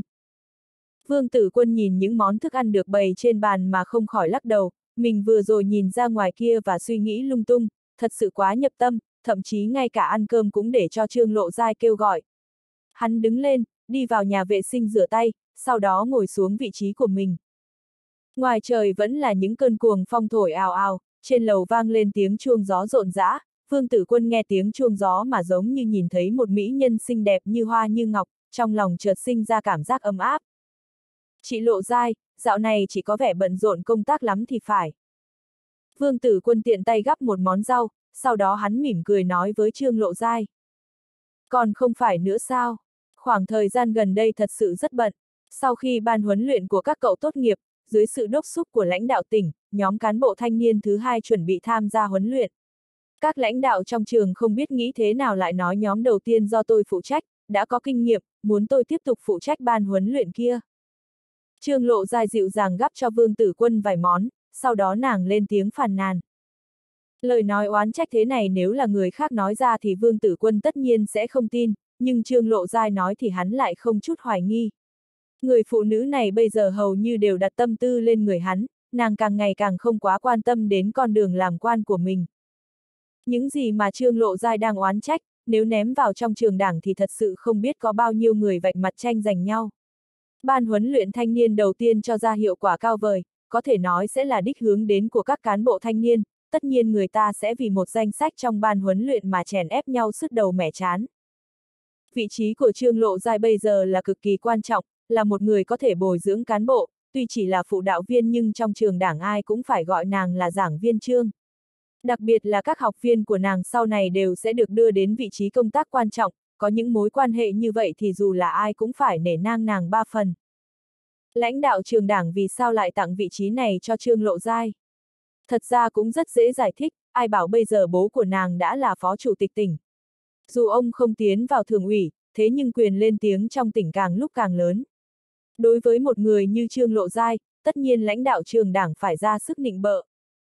Chị đấy, không nên được tiện nghi còn khoe mẽ, theo tôi thấy thì có nhiều người thèm nhỏ dãi với vị trí của chị. Vương Tử Quân khẽ cười nói với Trương Lộ Giai. Trương Lộ Giai liếc mắt nhìn Vương Tử Quân, nàng nói. Cậu đúng là, có phải có mục tiêu gì mới rồi không? Chị nói cho cậu biết, cậu đã là người có vợ, dù bây giờ em Tiểu Bắc không có mặt ở đây, thế nhưng lại có chị, chị nhất định phải giúp em ấy quản lý cậu thật chặt. Kể cả biển thủ sao? Vương Tử Quân khẽ cười, sau đó hắn dùng giọng trêu đùa nói với Trương Lộ Giai. Anh đúng là vô lại. Trương Lộ Giai cười mắng một tiếng, chuẩn bị dùng đũa đánh vào tay Vương Tử Quân. Nhưng sau khi nàng nhìn vào gương mặt tươi cười của hắn, thế là dơ cao đôi đũa nhưng lại không đành lòng đánh xuống. Thế là Vương Tử Quân và Trương Lộ Giai mặt đối mặt với nhau giữa không trung, vô tình hai người đã quên những gì đang diễn ra, cả hai nhìn nhau, giống như có thứ gì đó làm cho hai người trở nên ngây dại. Thật xin lỗi, đã làm cho chị chịu uất ức. Vương Tử Quân nhìn Trương Lộ Giai, hắn không tự chủ được nói. Cậu đúng là bại hoại, cậu nói gì vậy? Cậu nếu thật sự cảm thấy tôi chịu uất ức, như vậy. Trương Lộ Giai khẽ ngồi xuống bên cạnh Vương Tử Quân, một mùi hương nhàn nhạt từ trên người nàng truyền đến, làn da mềm mại giống như có thể bộc lộ ra bên ngoài bất cứ lúc nào, giống như liên tục tập kính ánh mắt của Vương Tử Quân. Tút, tút, tút.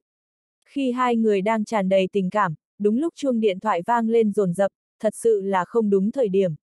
Trương Lộ Giai vốn không quá quan tâm, thế nhưng khi nhìn thấy tên xuất hiện trên màn hình điện thoại, nàng không khỏi không nghe máy. Alo, mẹ à, mẹ ăn cơm chưa? Trương Lộ Giai nhanh chóng biến thành một cô gái ngoan, nàng khẽ nói. Cái gì, chỉ mình mẹ ăn cơm ở nhà thôi à? Bố con đâu? Trương Lộ Giai nghe thấy câu trả lời truyền đến từ phía bên kia thì chợt lớn tiếng nói. Hôm nay bố không về sao? Cái gì, bái tổ đài đã sập, chuyện này sao có thể? Trương Lộ Giai nói, giọng điệu tràn đầy khiếp sợ, gương mặt càng thật sự khó tin, nhưng ngay sau cảm giác khiếp sợ thì nàng lại tức giận nói. Bây giờ là lúc nào rồi, bố còn chạy đi nữa, đúng là. Vương tử quân nghe thấy Trương Lộ Giai gọi mẹ thì cũng không dám lên tiếng, dù sao thì hắn cũng là một đứa con rể không danh phận, thật sự không danh bất chính ngôn bất thuận. Tuy hắn đã từng đến nhà Trương Lộ Giai, hơn nữa mẹ của nàng đối với hắn rất tốt, thế nhưng chỉ xuất phát từ mối quan hệ giữa hai nhà Trương Vương mà thôi. Hắn thực chất đã đi đến vị trí con rể Trương gia, thế nhưng lại căn bản không tiết lộ ra. Nhưng lời nói của Trương Lộ Giai vào lúc này lại làm cho Vương Tử Quân cảm thấy cực kỳ kinh hãi, bái tổ đài bây giờ lại sụp đổ, điều này sao có thể? Bây giờ chỗ nào cũng có công trình bã đậu sao? Lễ bái tổ là một hạng mục văn hóa do nhiếp hạ quân đề ra khi nắm quyền ở tỉnh Sơn Nam, mục đích chính là thông qua lễ hội để tuyên truyền về tỉnh Sơn Nam, phát triển tỉnh Sơn Nam, lấy văn hóa làm nền cho kinh tế phát triển. Dù Vương Tử Quân là một lãnh đạo của tỉnh đoàn, cũng không tiếp xúc quá nhiều với hạng mục này, thế nhưng hắn có thể căn cứ vào các văn kiện để cảm thấy lãnh đạo tỉnh ủy đặt hạng mục này lên địa vị cực kỳ cao độ. Sắp đến này tế tổ, tất cả công tác đã chuẩn bị sẵn sàng, nhiếp hạ quân đã tổn hao biết bao tâm cơ cho hạng mục lần này, lão không những phát thiếp mời các danh nhân trong ngoài nước, còn tự thân chạy đến thủ đô để phối hợp tổ chức nhiều hội nghị, đã mời không ít đại nhân vật đến tham gia lễ hội. Có thể nói đây là một việc lớn của tỉnh Sơn Nam trong năm nay, nhưng bây giờ bái tổ đài là hạng mục quan trọng nhất lại sập, trách nhiệm này ai có thể gánh vác được.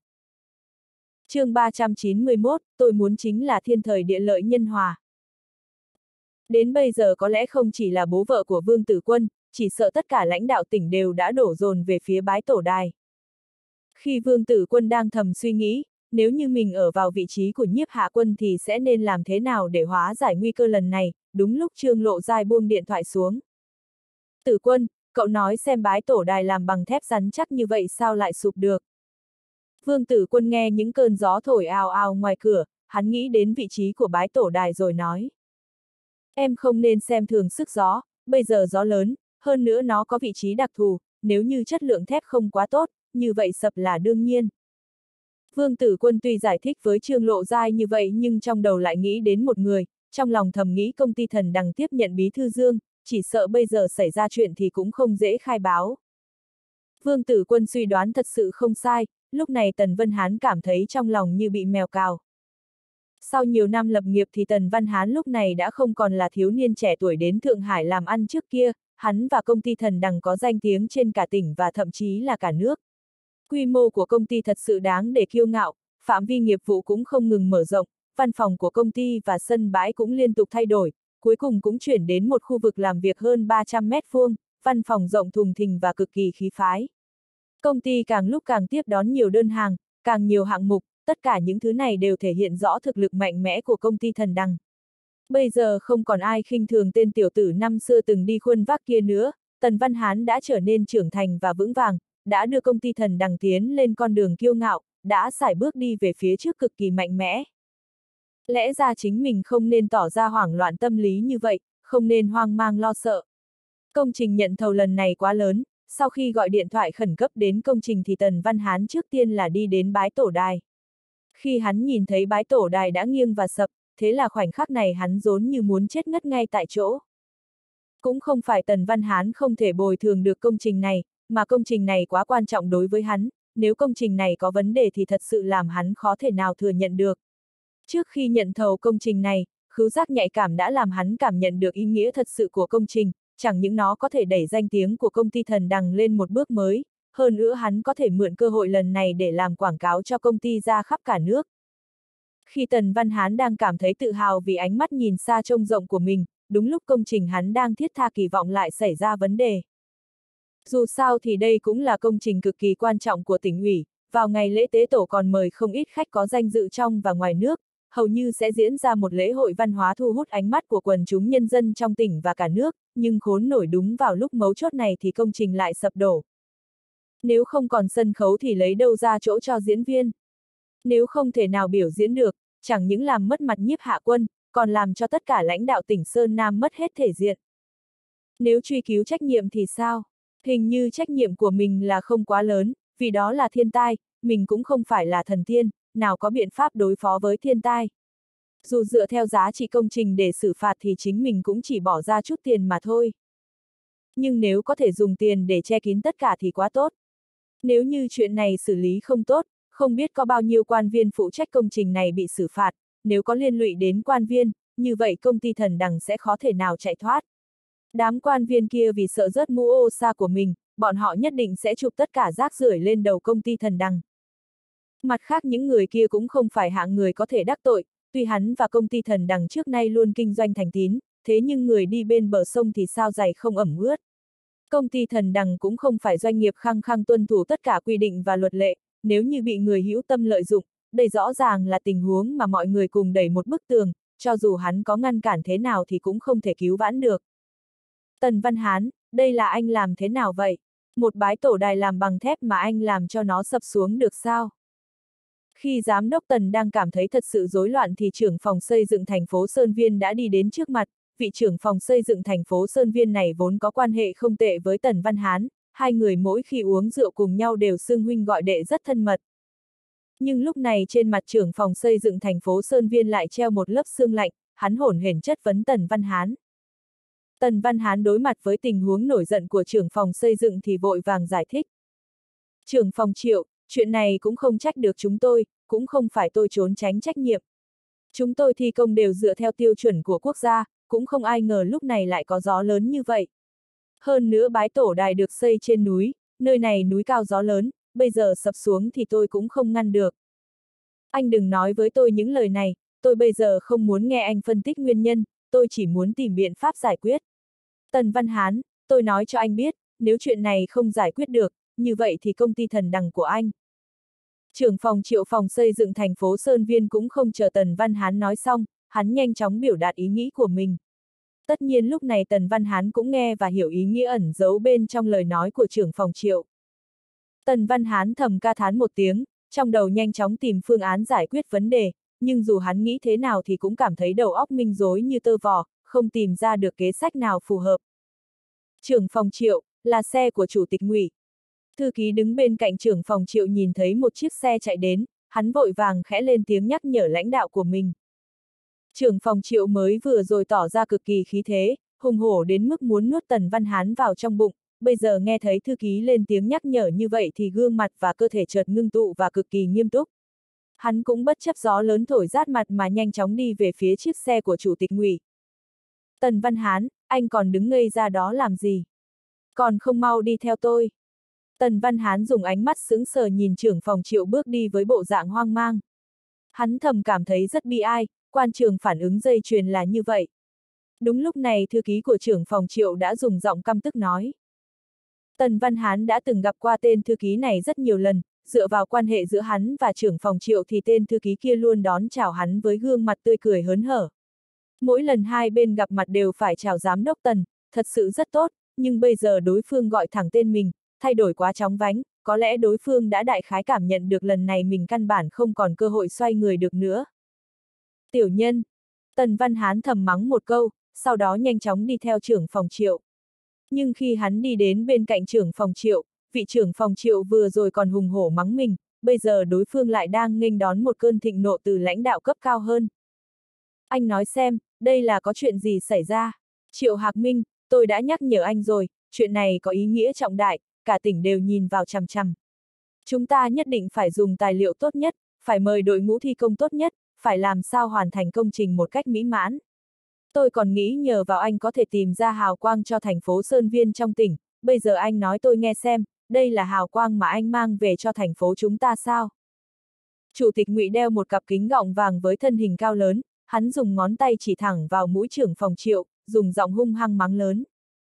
Trưởng phòng triệu Hạc Minh lúc này giống như một con chuột gặp mèo, bộ dạng ngoan ngoãn cung kính, tuyệt đối không dám mở miệng. Nhưng dù hắn là như vậy thì chủ tịch ngụy vẫn không có ý muốn dừng lại, chủ tịch mắng trưởng phòng triệu 4-5 phút đồng hồ, sau cùng mới dừng lại giống như không còn sức để tiếp tục mắng.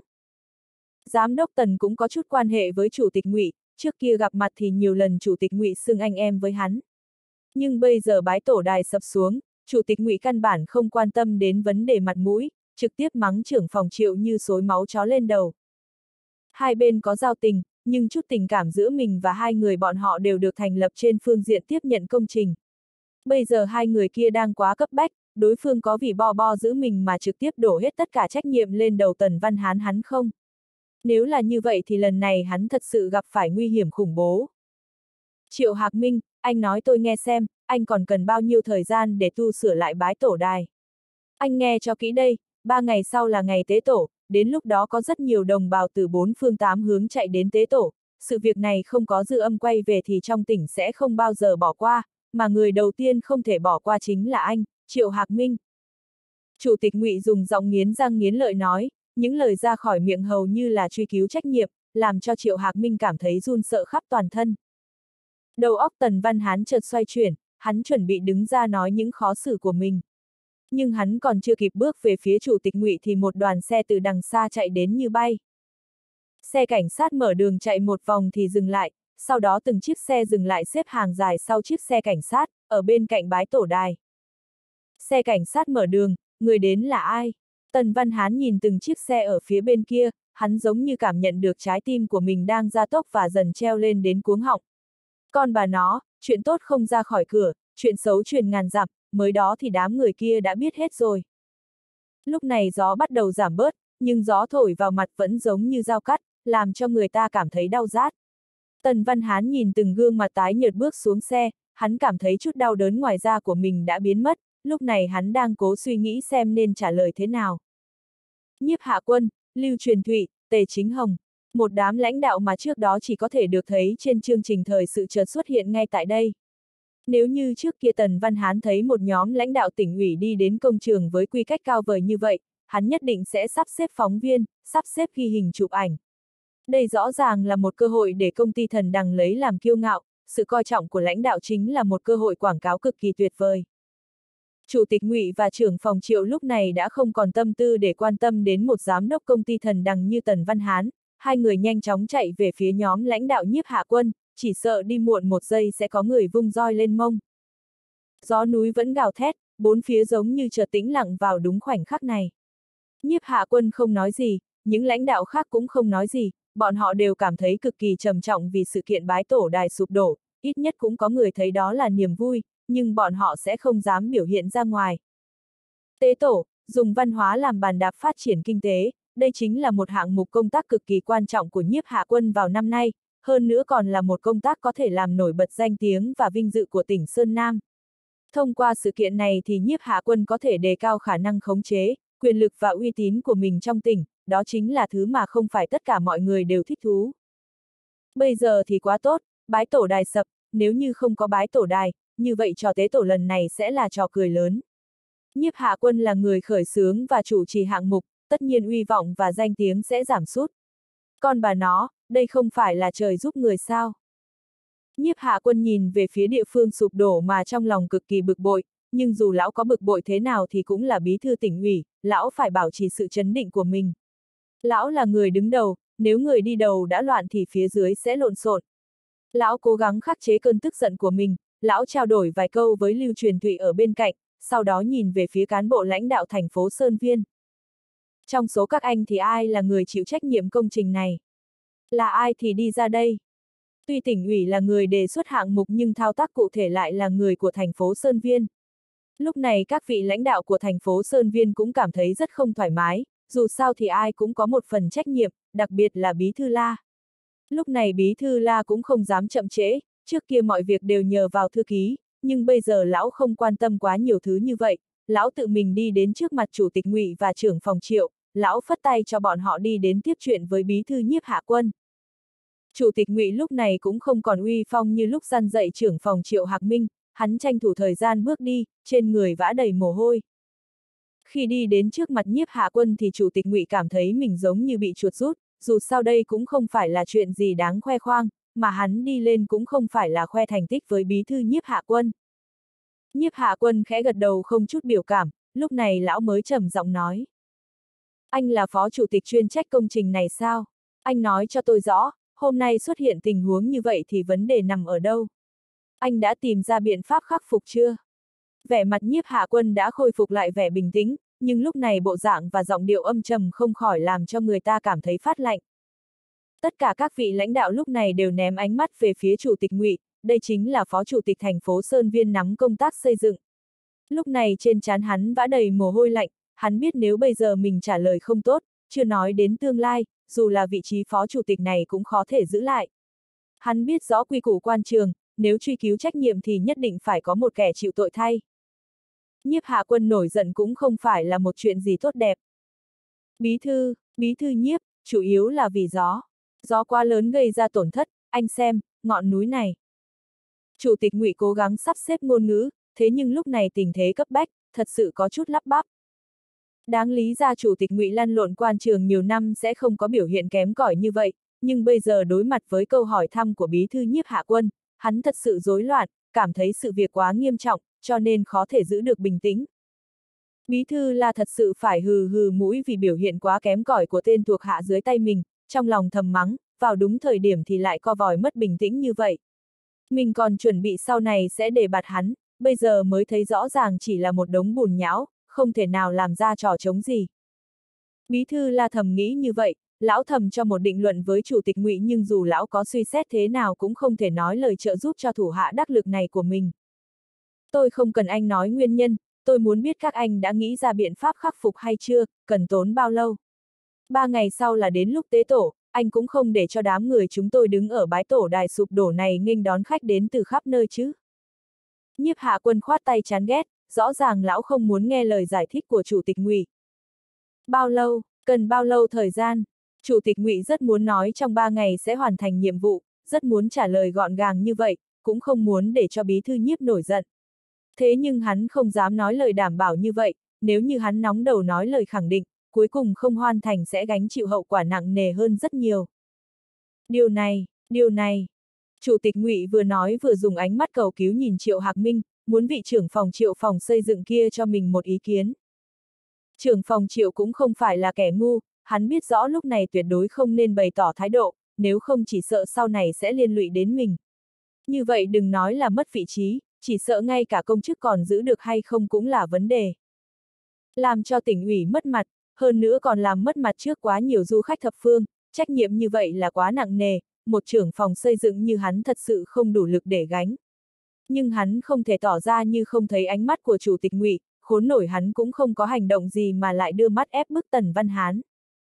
Được rồi, được rồi, nếu các anh không dám tỏ thái độ thì tôi cũng chỉ có thể ra lệnh cho các anh. Sự kiện tế tổ lần này là hoạt động cực kỳ lớn và quan trọng của tỉnh Sơn Nam chúng ta, bây giờ dù gặp khó khăn nhưng dù thế nào thì chúng ta cũng phải làm tốt công tác. Mất bò mới lo làm chuồng, bây giờ cũng không quá muộn. Bí thư la, bái tổ đài ở trên địa bàn thành phố Sơn Viên, tôi cũng tin tưởng vào sức chiến đấu của anh và ban ngành thành phố Sơn Viên, tôi tin các anh nhất định sẽ cho ra một kết quả hài lòng trước lúc làm lễ. Nhiếp hạ quân dùng giọng điệu nghiêm nghị nói với Bí Thư La, lời nói thật sự không cho phép người ta từ chối.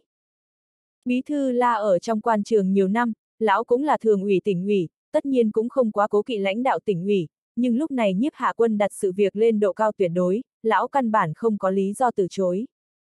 Bí thư nhiếp, ngài yên tâm, thành phố Sơn Viên chúng tôi nhất định sẽ vượt qua khó khăn, sẽ dùng toàn lực để ứng phó. Bí thư La chỉ có thể trả lời như vậy, lão trầm giọng đảm bảo với bí thư nhiếp hạ quân, lúc này lão cũng là người bị ép lên lương sơn, không nói lời đảm bảo là không được. Nhiếp hạ quân coi như thỏa mãn với câu trả lời như vậy của bí thư la, lão chuyển ánh mắt lên người tề chính hồng, sau đó trầm giọng nói. Chủ tịch tỉnh đi họp ở thủ đô, chủ tịch tề, công tác đốc xúc chỉ có thể chuyển lên người anh. Tôi không biết anh áp dụng biện pháp gì, anh cần toàn lực công tác, cần phải dồn sức xử lý, cần người cho người, cần tiền xuất tiền. Tề chính hồng vốn còn chưa kịp hả hê vì sự việc xảy ra, bây giờ nghe thấy nhiếp hạ quân sắp xếp như vậy thì thật sự trợn tròn mắt, vì sao lại kéo cả mình vào. Sau khi sự kiện dương quân tài phát sinh thì nhiếp hạ quân càng cường thế trong ban ngành tỉnh ủy, có một khoảng thời gian dài tề chính hồng tỏ ra cực kỳ bình tĩnh, thế nhưng trong lòng thật ra vẫn giàu dĩ không vui. Có một ngày tề chính hồng xem tạp chí và vô tình đọc được một mẩu chuyện cười, đó là vịt và cua thi chạy, hai bên cùng chạy đến đích một lượt, bất phân thắng bại. Vậy là trọng tài cho ra lời đề nghị các người đến kéo tảng đá đi. Con vịt tức giận nói, ông chơi tôi sao? Tôi vừa kéo thì đã bị hắn cắt đứt lông rồi. Sau đó tác giả còn nói một câu, một trận đấu cần phải nhìn vào thiên phú. Chủ tịch huyện chợt hiểu một vấn đề, còn bà nó, Dương Quân Tài rõ ràng là một con vịt, mà đối thủ một mất một còn Vương Tử Quân là một con cua, điều này có liên quan gì đến chuyện tề chính hồng hắn đề nghị cho Dương Quân Tài xuống tuyến dưới rèn luyện. Nói thì như thế nhưng nhìn nhiếp hạ quân cho ra nhiều quyết nghị, hơn nữa bí thư nhiếp còn tỏ ra cường thế trong lúc tập trung dân chủ thì tề chính hồng cảm thấy rất mắc nghẹn và không thoải mái.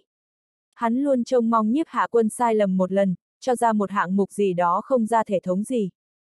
Khi tề chính hồng đang rất oán giận thì thật sự trời cao có mắt, một ngọn gió lớn bùng lên, cuối cùng đã đẩy đổ tất cả những gì mà nhiếp hạ quân đang chủ trì. Bây giờ vấn đề đã xảy ra, tề chính hồng có cơ hội phản kích, vì đây là một trò cười cực lớn, nhiếp hạ quân ít nhất cũng mất danh dự và uy tín trong ban ngành. Tề chính hồng nghĩ như vậy, hắn thấy nó giống như bên ngoài có tình nhân mà vợ lại không biết còn mua thuốc bổ thận tráng dương cho mình, cảm giác sung sướng này thật sự khó nói nên lời. Nhưng bây giờ nhiếp hạ quân lại dựa vào quyền uy của bí thư tỉnh ủy để trực tiếp chỉ mặt điểm tướng, ném một trò khốn khổ khốn nạn lên vai tề chính hồng. Con bà nó, nhiếp hạ quân ơi là nhiếp hạ quân, anh làm vậy rõ ràng là muốn kéo tôi vào vòng tròn liên lụy. Nhưng không sao, việc đến nước này thì tề chính hồng hắn cũng không thể nào cố ý không tiếp nhận được. Bí thư nhiếp cứ yên tâm, tôi đảm bảo sẽ phối hợp tốt công tác với bí thư la, sẽ làm tốt mọi việc. Tề chính hồng tỏ ra thái độ, cũng đẩy cả bí thư la ra phía trước. Bí thư la sao không thấy rõ chút thủ đoạn trốn tránh trách nhiệm của tề chính hồng, thế nhưng lúc này tình thế quá gấp, lão dù mất hứng cũng chỉ có thể nuốt giận vào bụng mà thôi. Gió đã không còn thổi mạnh, lúc này bầu không khí u ám dần tiêu tán, bầu trời chậm rãi khôi phục như thường. chương 392, cung kính như cháu nội. Khi đám lãnh đạo đang thầm tự định giá thì những tiếng kêu gọi ồn ào từ phương xa truyền đến, khi âm thanh này vang lên, vài người đàn ông trung niên từ phía bái tổ đài chạy vội về phía bên này. Tần Văn Hán đều biết những người kia, bọn họ chính là chuyên gia công trình của công ty Thần Đằng. Sau khi xảy ra chuyện thì Tần Văn Hán hỏa tốc chạy đến hiện trường, hắn cố gắng tìm phương án vãn hồi tổn thất. Bây giờ nhìn đám chuyên gia ồn ào chạy đến, trong lòng hắn không khỏi nóng lên, chẳng lẽ đã tìm được phương án giải quyết. Nếu thật sự là như vậy thì xem như công ty thần đằng của mình đã được cứu rồi. Thế là Tần Văn Hán cũng bất chấp các vị quan viên trong tỉnh đang đứng ở đây, hắn lớn tiếng nói. Tôi ở dây, có chuyện gì sao? Giám đốc Tần, chủ thể công trình bái tổ đài không có vấn đề, chỉ là phần đỉnh sụp xuống dẫn đến tình huống trước mắt, nếu như chúng ta có thể đổi phần đỉnh, hàn lại phần đã gãy, bái tổ đài sẽ coi như được chữa trị. Người đàn ông trung niên chạy đến đầu tiên cũng không quan tâm nhiều người đứng chung quanh giám đốc Tần, khi nghe thấy Tần Văn Hán hỏi thì nhanh chóng trả lời. Có thể chữa trị, những lời này rơi vào trong tai Tần Văn Hán thật sự giống như tiếng trời. Có thể chữa trị sao? Khi Tần Văn Hán chuẩn bị hỏi tiếp thì chợt nghe thấy có người bên cạnh mở miệng không thể chờ đợi được, hắn quay đầu nhìn, thấy người lên tiếng là bí thư tỉnh ủy nhiếp hạ quân. Tần Văn Hán hoàn toàn có thể hiểu tâm tình của bí thư nhiếp hạ quân vào lúc này, dù sao thì đây là hạng mục lớn nhất của bí thư nhiếp hạ quân sau khi đi vào tỉnh Sơn Nam, tất nhiên bí thư sẽ hy vọng nó trở nên hoàn mỹ. Bây giờ bái tổ đài đã ngã, đối với bí thư nhiếp thì giống như một đả kích rút củi đáy nồi, nếu bọn họ có thể chữa trị bái tổ đài trước ngày diễn ra tế tổ, chưa nói đến vấn đề hoàn công, ít nhất cũng dùng nó để thể hiện sức chiến đấu mạnh mẽ của cán bộ ban ngành tỉnh Sơn Nam. Đám người đàn ông trung niên bên kia thật sự đang rất vội vàng, bọn họ cơ bản không nhìn ra nhiếp hạ quân là ai. Sau khi nghe đối phương nói xen vào một câu thì bọn họ không biết nên nói sao cho tốt, tuy bọn họ không nói lời nào nhưng Tần Văn Hán thì lại cực kỳ sốt ruột, hắn vỗ lên vai người đàn ông trung niên rồi nói. Bí thư nhiếp đang hỏi anh, tranh thủ báo cáo cho bí thư nhiếp, rốt cuộc tình huống là thế nào? Bí thư nhiếp, người đàn ông trung niên chợt ngây người, lúc này hắn mới kịp phản ứng. Sau khi biết người trước mặt là bí thư tỉnh ủy nhiếp hạ quân thì tâm tình có chút bối rối, lúc này càng thêm rối loạn, hắn nói. Bí thư nhiếp, bái tổ đài này có thể chữa trị được, nhưng cần có thời gian. Cần thời gian. Nhiếp hạ quân nhướng mày, nhưng sau đó lão lại nở nụ cười. Các vị chuyên gia, có câu không trong nghề thì không biết rõ tình hình, chúng tôi chỉ là người thường trong công tác xây dựng các công trình này, anh nói cho tôi biết xem, nếu muốn sửa chữa bái tổ đài này thì cần bao lâu? 10 ngày. Người đàn ông trung niên trầm ngâm một chút, sau đó nói ra con số dự đoán của mình. Đám quan viên tỉnh đều đang chú tâm nghe lời đối thoại của bí thư nhiếp, đại đa số đám người nghe kỹ sư công trình nói có thể sửa chữa được thì trong lòng đều thả lòng. Chỉ cần có thể sửa chữa, như vậy tuy bí thư nhiếp hạ quân có truy cứu trách nhiệm nhưng sẽ không đến mức nắm chặt không buông. Không ngờ bọn họ còn chưa vui vẻ được bao lâu thì đã bị dội một gáo nước lạnh, rõ ràng cần những 10 ngày. 10 ngày không phải quá lâu, nhưng 3 ngày sau đã đến thời điểm tế tổ, nếu như 10 ngày sau mới hoàn công bái tổ đài, như vậy xem như tất cả đều đã xong. Lúc này cũng không thể để cho bí thư nhiếp thay đổi ngày tế tổ và thông báo với khách, như vậy sẽ càng bị người ta chê cười. Gương mặt tươi cười của nhiếp hạ quân cũng dần lắng xuống, ánh mắt nhạy cảm của lão nhìn về phía tần văn hán. Trước đó tần văn hán thật sự giống như vừa từ thiên đường rơi xuống địa ngục, bây giờ mới bước chân lên bậc thang thiên đường đã bị đánh rơi xuống. Tần Văn Hán nhìn tên kỹ sư công trình kia mà thật sự sinh ra xúc động muốn gào thét, con bà nó, đừng làm những trò khốn nạn thế này được không? Vì sao không phải đổi buồn thành vui, ngược lại còn làm cho người ta thêm lo lắng bất an? Tần Văn Hán, với đội thi công bây giờ thì sẽ mất 10 ngày mới sửa chữa xong, nhưng nếu tăng thêm nhân tài kỹ thuật, kỳ hạn công trình có thể sớm hơn chứ? Phó Chủ tịch tỉnh đứng ở bên cạnh Tần Văn Hán chợt trầm giọng nói. Hai mắt Tần Văn Hán lúc này tỏa sáng giống như đang chết khát trên sa mạc mà tìm ra ốc đảo, vừa nghe vị phó chủ tịch tỉnh kia lên tiếng thì hắn đã nhanh chóng kéo tay tên kỹ sư công trình. Anh nói tôi xem, nếu tăng nhân công, có phải chỉ mất ba ngày là bái tổ đài sẽ được sửa chữa tốt không? Trên lý luận là như vậy. Tên kỹ sư công trình trầm ngâm một chút, sau đó dùng giọng không dám xác định nói. Vậy thì tốt, vậy thì quá tốt rồi. Tần Văn Hán hầu như cảm thấy linh hồn rời khỏi thể xác, hắn thở dài một hơi nói. Tăng thiết bị và tăng thêm nhân công cũng không phải là việc gì khó khăn với lãnh đạo tỉnh Sơn Nam, lúc này tảng đá trong lòng đã hạ xuống, vẻ mặt cả đám người cũng trở nên dễ chịu hơn. Chỉ là đám người bọn họ cảm thấy sự việc này có thể giải quyết dễ dàng, thế nên không quan tâm đến lời phàn nàn nho nhỏ của viên kỹ sư công trình. Muốn tìm vài trăm công nhân hàn điện, anh cho rằng sẽ dễ như đi nhổ củ cải sao. Nào có đơn giản như vậy. Hơn 10 phút sau nhiếp hạ quân đang rất bận rộn đã lên xe bỏ đi, các vị lãnh đạo khác cũng ngồi vào trong xe đi theo. Lúc này các vị lãnh đạo đều đã đi, bây giờ chỉ còn giám đốc Tần và các nhân công của mình đứng lại. Tần Văn Hán biết rõ sự việc quá khẩn cấp, một phút cũng không thể chậm trễ. Sau khi tiến chân lãnh đạo thì hắn nhanh chóng triệu tập tất cả công nhân, yêu cầu nhanh chóng thi công theo phương án sửa chữa vừa được đưa ra. Giám đốc Tần, chưa nói đến những thứ khác, muốn sửa chữa bái tổ đài thì cần phải hàn lại những chỗ tổn hại, thế cho nên yêu cầu có một số lượng lớn công nhân hàn kỹ thuật tốt.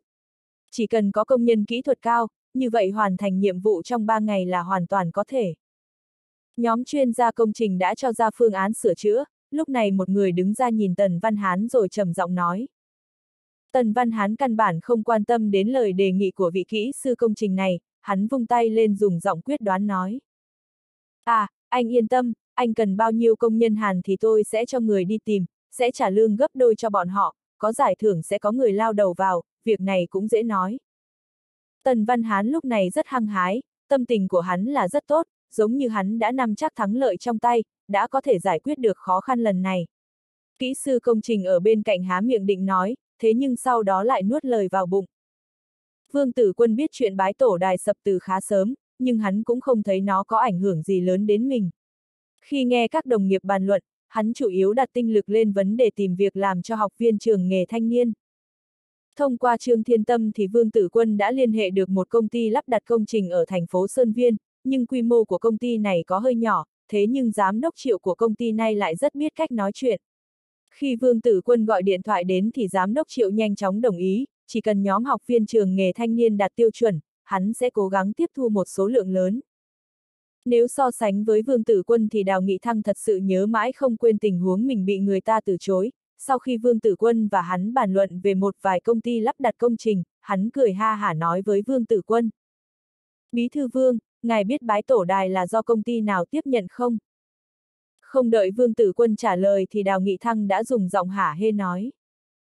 Ôi, chính là công ty thần đằng, còn bà nó, ngày hôm qua còn vinh váo lên trời, để xem bây giờ bọn họ làm ăn thế nào. Công ty thần đằng kia thật sự gặp chuyện không may, Vương Tử Quân khẽ cảm khái một câu, hắn cũng không đặt nặng trong lòng. Khi hắn thay đổi chủ đề, cùng nói chuyện với Đào Nghị Thăng về vấn đề việc làm của học viên, đúng lúc chuông điện thoại lại vang lên. Vương Tử Quân nhìn dãy số, được gọi đến từ huyện Lô Bắc. Hắn nghe máy thì bên trong truyền đến âm thanh của Tiếu Tử Đông, lúc này Tiếu Tử Đông gọi điện thoại đến chủ yếu báo cáo chuyện liên quan đến anh của Giang Gia Kỳ. Khi Tiếu Tử Đông lên tiếng thì Vương Tử Quân biết rõ sự việc đã được giải quyết thỏa đáng, sau khi Tiếu Tử Đông ra mặt thì người gây họa cho gia đình Giang Gia Kỳ cũng không tiếp tục lắm mồm, coi như sự việc được giải quyết ổn thỏa. Vương Tử Quân cười nói lời cảm tạ Tiếu Tử Đông, đồng thời cũng nói lời mời Tiếu Tử Đông có rảnh thì đến thành phố Sơn Viên thăm thú một phen. Tiếu Tử Đông mỉm cười cảm ơn, sau đó lại cố gắng mời Vương Tử Quân. Bí thư Vương, anh là lãnh đạo của huyện Lô Bắc chúng tôi, huyện Lô Bắc sở dĩ có được ngày hôm nay cũng là công lao của anh. Chúng tôi cũng không nằm ngủ ngon trên công lao của anh, mà cố gắng phát triển trên cơ sở anh để lại. Đúng rồi, khu công nghiệp của chúng ta xếp hạng nhất trong số các khu công nghiệp trong thành phố, Bí thư Trịnh còn đặc biệt khen ngợi. Vương Tử Quân mỉm cười nói hai câu với Tiếu Tử Đông, cũng đồng ý với lời mời của Tiếu Tử Đông, nếu mình có thời gian sẽ đi thăm huyện Lô Bắc. Khi Vương Tử Quân nói chuyện điện thoại với Tiếu Tử Đông thì Đào Nghị Thăng cũng lên tiếng rồi lặng lẽ rời khỏi phòng. Hắn là người rất quen thuộc quy tắc cơ quan, hắn biết rõ lúc nào lãnh đạo không cần có người ở bên cạnh mình. Vì sự việc đã được giải quyết nên tâm tình của Đào Nghị Thăng là rất tốt, đi đường tay chân vung vẫy rất thoải mái. Tuy trung tâm giới thiệu việc làm thanh niên công nhân đã được xây dựng thế nhưng văn phòng xử lý công tác lại vẫn nằm trong khu văn phòng tỉnh đoàn. Ôi, hiệu trưởng Trúc Nghiêm Dương, anh muốn đến tìm bí thư vương sao? Khi Đào Nghị Thăng chuẩn bị lên lầu thì Trúc Nghiêm Dương nhanh chóng đi đến, vì vội vàng nên cũng không nhìn rõ người đi qua bên cạnh mình là Đào Nghị Thăng. Chủ nhiệm Đào, tôi có công tác cần cấp báo cho bí thư vương, anh có chuyện gì sao? Trúc Nghiêm Dương có quan hệ không quá tốt với Đào Nghị Thăng, lúc này thấy Đào Nghị Thăng cười ha hả chào hỏi mình, tất nhiên hắn cũng phải tươi cười đáp lại. Có, tất nhiên là có chuyện. Hiệu trưởng Trúc, lần này anh phải mời khách mới được, vì chuyện công tác của học viên trong trường của anh mà tôi đã chạy gãy chân, nếu như anh không cho ra chút ban thưởng, như vậy cũng coi như có lỗi với tôi. Đào Nghị Thăng nói rồi khẽ vỗ lên vai Trúc Nghiêm Dương. Trúc Nghiêm Dương có chút không thích hành động vỗ vai thân mật của Đào Nghị Thăng, thế nhưng hắn cũng không tiện phát tác, đành phải dùng giọng biết thời thế nói. Được, được, ban thưởng vật chất cũng không phải là vấn đề, chủ nhiệm Đào thích dùng cơm ở nơi nào cứ nói, tôi sẽ mời ngài một bữa. Như vậy mới là huynh đệ tốt của tôi, đúng rồi, Bí Thư Vương đang gọi điện thoại, tin tức tốt sẽ để cho anh ấy nói cho anh biết. Đào Nghị Thăng cười cực kỳ sáng lạn, sau đó phất tay với Trúc Nghiêm Dương rồi cười nói. Sau khi nghĩ kỹ thì gọi điện thoại cho tôi, tôi sẽ đón khách cho Na. Trúc Nghiêm Dương tất nhiên hiểu ý nghĩa lời nói của Trúc Nghiêm Dương, hắn nhìn Đào Nghị Thăng bỏ đi mà thầm nghĩ người này nếu so với câu nói mạnh vì gạo bạo vì tiền thì còn chênh lệch quá lớn. Nhưng tâm tư của hắn nhanh chóng chuyển lên lời nói vừa rồi của Đào Nghị Thăng, có lẽ chuyện học viên được sắp xếp việc làm đã có cửa ra.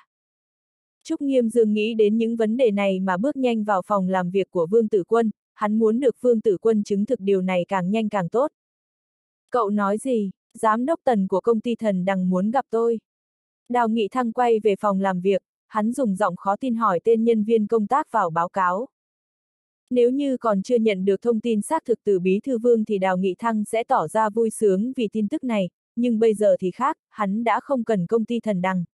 Hắn cũng không quên tình huống vị giám đốc tần của công ty thần đằng để cho mình và bí thư vương chờ đợi vêu mồm ngày hôm trước.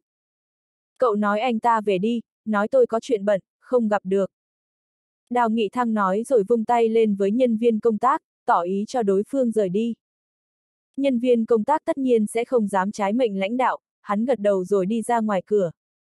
Nhưng tên nhân viên vừa mới đi ra đến cửa thì chợt nghe Đào Nghị Thăng sửa lời. Cậu cho anh ta vào đi, tôi sẽ gặp mặt một lần. Không mất quá nhiều thời gian thì giám đốc công ty thần đằng là Tần Văn Hán đi vào, lúc này trên mặt Tần Văn Hán là nụ cười khiêm tốn, trợ lý Vương cẩn thận đi theo phía sau. Chủ nhiệm Đào, chào anh, hôm qua đi về nghe nói anh đại giá Quang Lâm thì tôi cảm thấy thật sự hối tiếc. Hôm qua lãnh đạo thành phố Sơn Viên đến thị sát công trình bái tổ đài, tôi cũng không thể quay về được, thế cho nên lúc này mới đến xem như tạ lỗi. Tần Văn Hán mở miệng, tư thái rất thấp. Đào Nghị Thăng nhìn biểu hiện của Tần Văn Hán, trong lòng thầm đắc ý nhưng lại có chút khó hiểu.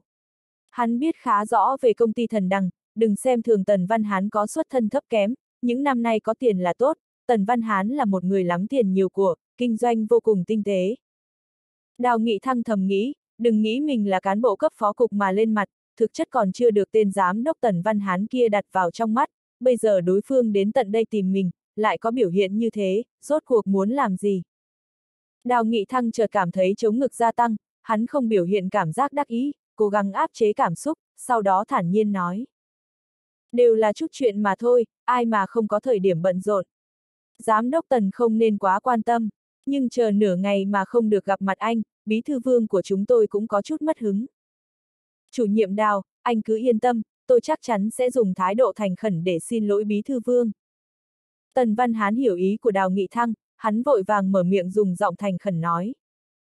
Tên khốn Tần Văn Hán này trước kia thấy mình tuy có biểu hiện tôn trọng nhưng lại bày ra cảm giác cực kỳ xa cách, sao bây giờ lại khác thường như vậy? chương 393, nuôi binh ngàn ngày dùng trong một ngày. Vì chuyện công nhân Hàn mà Tần Văn Hán cực kỳ do dự, cực kỳ khó xử và buồn khổ. Nhưng hắn dù có suy nghĩ thế nào thì cũng không tìm ra được phương án hiệu quả. Những năm qua Tần Văn Hán kinh doanh phát đạt và cực kỳ quan tâm đến thể diện của mình, nhưng lúc này dưới áp lực ngàn cân treo sợi tóc, chạy đến cầu người còn cần mặt mũi sao. Sau khi về nhà thì Tần Văn Hán càng nghĩ càng giận, hắn mở một chai rượu uống ửng ực, sau khi cạn chai thì đầu váng mắt hoa, trời đất quay cuồng. Cuối cùng giám đốc Tần ngã xuống đất ngủ thiếp đi. Tần Văn Hán ngủ 2 giờ, sau khi tỉnh lại thì cảm thấy toàn thân không chút sức lực, đi lại cũng lắc lư trao đảo. Nhưng hắn cảm thấy rất có giá trị, con người mà, lúc lớn lúc nhỏ thì là rồng, nhưng có được giãn được sẽ là anh hùng. cúi đầu thì thế nào? Có ai trên đời này chưa từng nhờ vả? Tần Văn Hán nghĩ như vậy mà không muốn chùn bước, hắn muốn đến khối tỉnh đoàn, muốn nhận tất cả công nhân hàn điện của chủ nhiệm Đào Nghị Thăng, vào thời điểm này hắn phải xuất lực vì công ty của mình. Nhưng Đào Nghị Thăng không hiểu điều này, ánh mắt kinh ngạc của chủ nhiệm Đào không thể nào che giấu được một người lăn lộn trong xã hội nhiều năm như giám đốc Tần Văn Hán. Nhưng không gạt được cũng chỉ là không gạt được, đối mặt với tình huống thế này, Tần Văn Hán ngoài việc cười khổ thì không thể làm gì khác hơn. Ai bảo lúc này Tần Văn Hán hắn chạy đến cầu người ta. Tần Văn Hán nghĩ đến báo cáo của những công trình sư sáng sớm hôm nay mà cảm thấy ảm đạm. Vì lập ra một phương án tu sửa phù hợp mà hôm qua hắn cũng phải đi theo nhóm chuyên gia để bận rộn tối mặt. Vốn hắn đã cảm thấy rất an ổn, nhưng 7 giờ sáng nay, hắn còn chưa kịp ngủ dậy đã bị tiếng chuông điện thoại đánh thức. Tần Văn Hán vốn rất tức giận, bây giờ nghe thấy kỹ sư công trình báo cáo thì tất cả nhiệt huyết chờ tan biến sạch sẽ, cảm giác tức giận giống như thủy triều, nhanh chóng rút đi cạn đáy. Tìm nhân công hàn điện cũng không phải là chuyện gì khó khăn với công ty thần đằng, một vị phó giám đốc thông qua con đường riêng đã tập hợp được một đội ngũ vào sáng hôm nay. Nhưng đội ngũ công nhân kia vào công tác đã phát sinh vấn đề, trong đó chỉ có vài người có trình độ hàn phù hợp, tất cả đều căn bản không hợp cách. Giám đốc Tần, công nhân hàn bình thường sẽ không giải quyết được vấn đề của bái tổ đài trong 3 ngày, đây là khẳng định. Đây là lời nói của tất cả chuyên gia công trình, lời này vừa nói ra thì Tần Văn Hán chợt cảm thấy trái tim treo lên cuống họng. Công nhân Hàn bình thường sẽ không giải quyết được vấn đề, đây tuyệt đối là không thể nào hoàn thành nhiệm vụ. Tần Văn Hán nghĩ đến kế hoạch ngày hôm qua mà ra đầu chợt tê dại, như vậy phải làm sao bây giờ? Hắn vốn cho rằng chỉ cần chiêu binh mãi mã là thể làm tốt, ngược lại giống như vứt một sợi dây thừng vào cổ mình. Công nhân Hàn có tay nghề cao, mình chạy đi đâu tìm ra những công nhân như vậy. Tần Văn Hán biết rõ vị phó giám đốc phụ trách công tác nhân lực có quan hệ rộng không thua kém gì mình. Nếu đã đến nước này thì dù mình có muốn vơ vét nhân tài cũng không có kế hoạch gì hay. Làm sao bây giờ? Làm sao bây giờ? Nếu đến thành phố khác tuyển người thì căn bản không còn đủ thời gian, cho dù tìm đủ cũng đã quá trễ, căn bản không thành công. Tần Văn Hán rơi vào đường cùng và nghĩ đến Đào Nghị Thăng, hắn nhớ Đào Nghị Thăng có nói tỉnh đoàn có trường nghề thanh niên, có một lớp học viên sắp ra trường. Hắn thầm cầu nguyện, nếu như đám học viên kia thật sự được như những gì Đào Nghị Thăng giới thiệu, căn bản lần này mình được cứu rồi.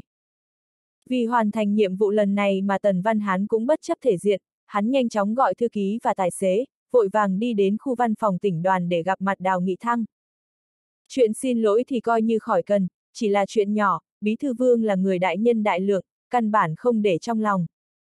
Đào Nghị Thăng nhìn Tần Văn Hán, trong lòng càng thêm đắc ý, hắn phất phất tay không quan tâm, bộ dạng thật sự như nước chảy mây trôi. Chủ nhiệm Đào và Bí Thư Vương đều là người khoan hồng độ lượng, việc này đều là lỗi tại tôi, chỉ trách tôi có mắt không thấy núi Thái Sơn. Tôi thấy hay là thế này, anh cho tôi một cơ hội mời cơm hai vị lãnh đạo, chúng ta cùng liên hệ lại với nhau, được không? Tần Văn Hán giả vờ tỏ ra khắc sâu kiểm điểm, hắn dùng giọng chân thành nói. Đào Nghị Thăng trước nay ít khi từ chối lời mời dùng cơm của người khác, nhưng lúc này hắn cũng không muốn sảng khoái đồng ý Tần Văn Hán, hắn khẽ khoát tay áo. Không, không, giám đốc Tần, các anh kinh doanh phát đạt, thời gian là tiền là bạc, thôi thì miễn đi bữa cơm này của các anh. Đào Nghị Thăng nói rồi đứng lên. Giám đốc Tần, xem như chuyện này dừng ở đây, vừa rồi văn phòng tỉnh đoàn gọi điện thoại đến, nói tôi đến văn phòng của bí thư Âu Dương một chuyến. Lúc này chỉ có thể nói lời xin lỗi với anh, thật sự không thể nào tiếp đón thêm. Tần Văn Hán nhìn thấy Đào Nghị Thăng chân phải đã sắp bước đi, hắn chợt trở nên nôn nóng, nếu để cho Đào Nghị Thăng đi mất, chẳng phải kế hoạch của hắn sẽ đổ vỡ nghiêm trọng sao? Chủ nhiệm Đào, kế hoạch của các anh, tôi đã xem qua rồi, tôi thấy thế này, các học viên của anh không bằng về công ty của tôi thực tập thì hay quá. Tần Văn Hán lúc này cũng không tiếp tục che giấu, hắn vội vàng nói ra những lời mình đã chuẩn bị sẵn trên đường đến đây. Đào Nghị Thăng thật sự còn rất tức giận, nếu như lúc này chưa tìm được công ty khác, nhóm học viên kia chưa có đường ra, có lẽ hắn sẽ cực kỳ vui sướng với lời đề nghị của Tần Văn Hán, dù sao thì tìm việc cho học viên vẫn là nhiệm vụ quan trọng nhất. Nhưng lúc này tất cả đã được giải quyết, hắn tất nhiên không có tâm tình nói nhiều với đối phương. Chúng tôi xin ghi nhận ý tốt của Giám đốc Tần, thế nhưng lãnh đạo tỉnh đoàn đã tìm được một công ty khác, đang chuẩn bị đưa học viên đến chỗ bọn họ. Đào Nghị Thăng vừa nói vừa quay đầu rời khỏi phòng. Tìm được công ty khác, điều này sao có thể? Đám học viên kia chính là hy vọng của Tần Văn Hán, nếu như không trông cậy gì được, hắn sao có thể làm được gì? Không bột sao gột nên hồ. Tút, tút, tút. Tiếng chuông điện thoại trong trẻo vang lên, trợ lý Vương nhìn qua số điện thoại rồi vội vàng chạy tới nói. Giám đốc Tần, là điện thoại của Chủ tịch ngụy. Chủ tịch ngụy. Tần Văn Hán nghe thấy ba chữ kia mà vẻ mặt chợt biến đổi, hắn là giám đốc công ty lắp đặt công trình, hắn cũng không dám đắc tội với vị lãnh đạo chủ quản khối xây dựng của thành phố Sơn Viên. Lúc này vừa nối thông điện thoại thì hắn vội vàng cười nói. Chủ tịch ngụy, chào anh, tôi là Tiểu Tần. Tần Văn Hán xương hô là Tiểu Tần, có thể thấy bây giờ hắn đặt vị trí của mình xuống thấp thế nào, nhưng hắn có hạ thấp tư thái như vậy cũng chưa chắc sẽ làm đối phương thấy thuận mắt. Nghênh đón hắn cũng không phải là lời nói thân thiết dịu dàng của chủ tịch ngụy, mà chính là giọng điệu chất vấn đầy căm tức. Tần Văn Hán ơi là Tần Văn Hán, anh đang làm trò quỷ gì vậy? Anh còn đang chạy đi đâu? Công trình chỉ có vài công nhân Hàn như vậy sao? Anh muốn làm cái quái gì vậy? Anh muốn làm đến Tết Trung Thu mới xong sao? Tôi nói cho anh biết rõ nhé, anh có phải muốn cho tất cả chúng ta đều bị xử phạt không? Không dám, không dám, Chủ tịch ngụy, tất cả đều là lỗi của tôi, tôi nào dám để cho ngài nai lưng chịu phạt.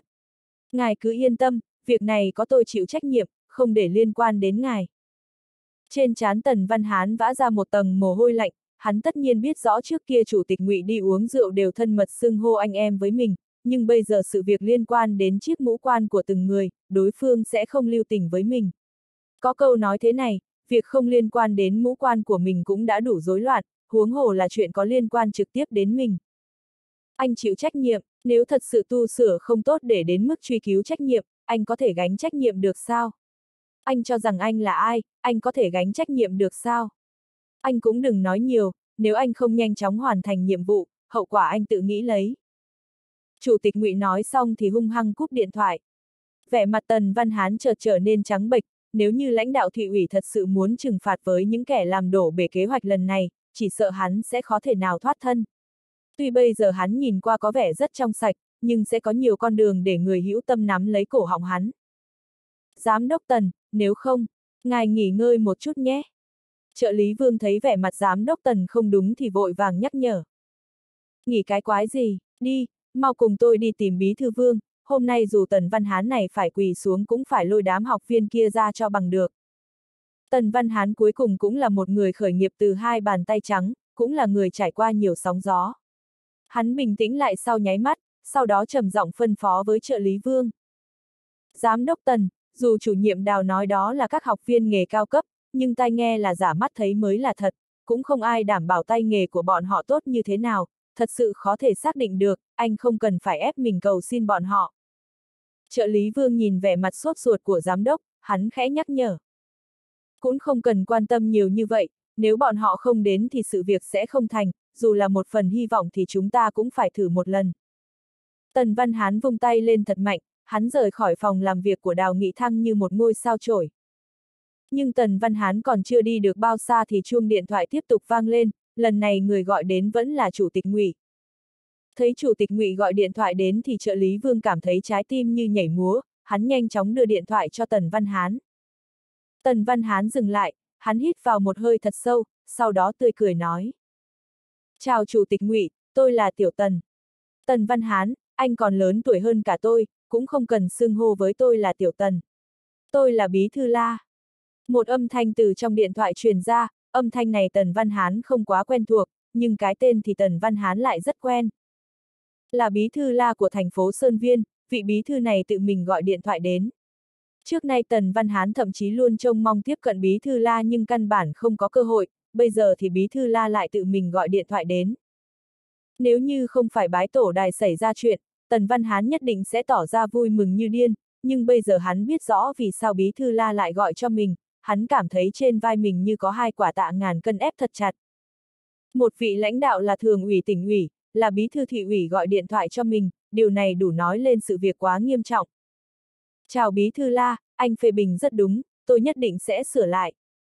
Tần Văn Hán khẽ xoa mồ hôi chán, giọng điệu càng thêm nhỏ nhẹ.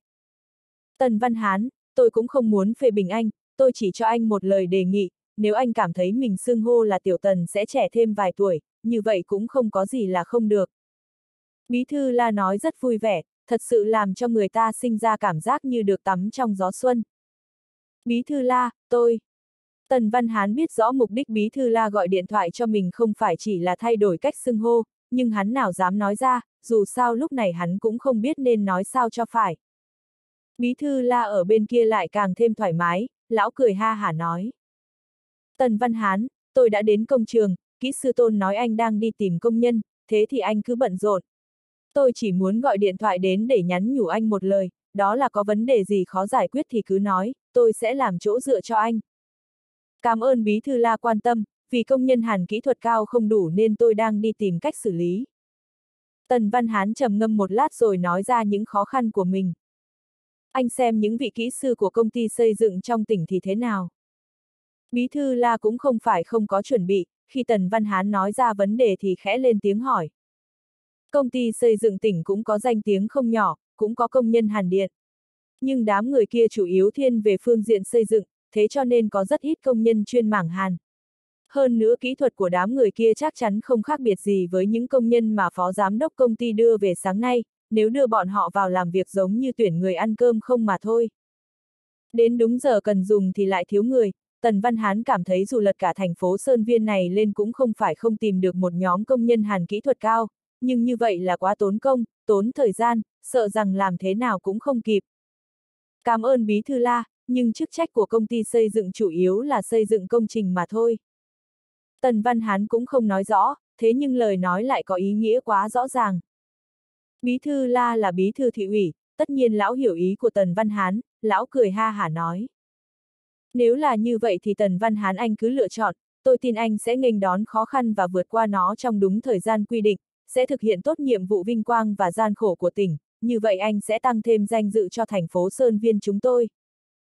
Bí thư La nói những lời khuyến khích nhưng Tần Văn Hán nghe vào và sinh ra cảm giác muốn khóc, hắn thấy đây căn bản không phải là khuyến khích, rõ ràng là vòng kim cô đeo lên đầu mình.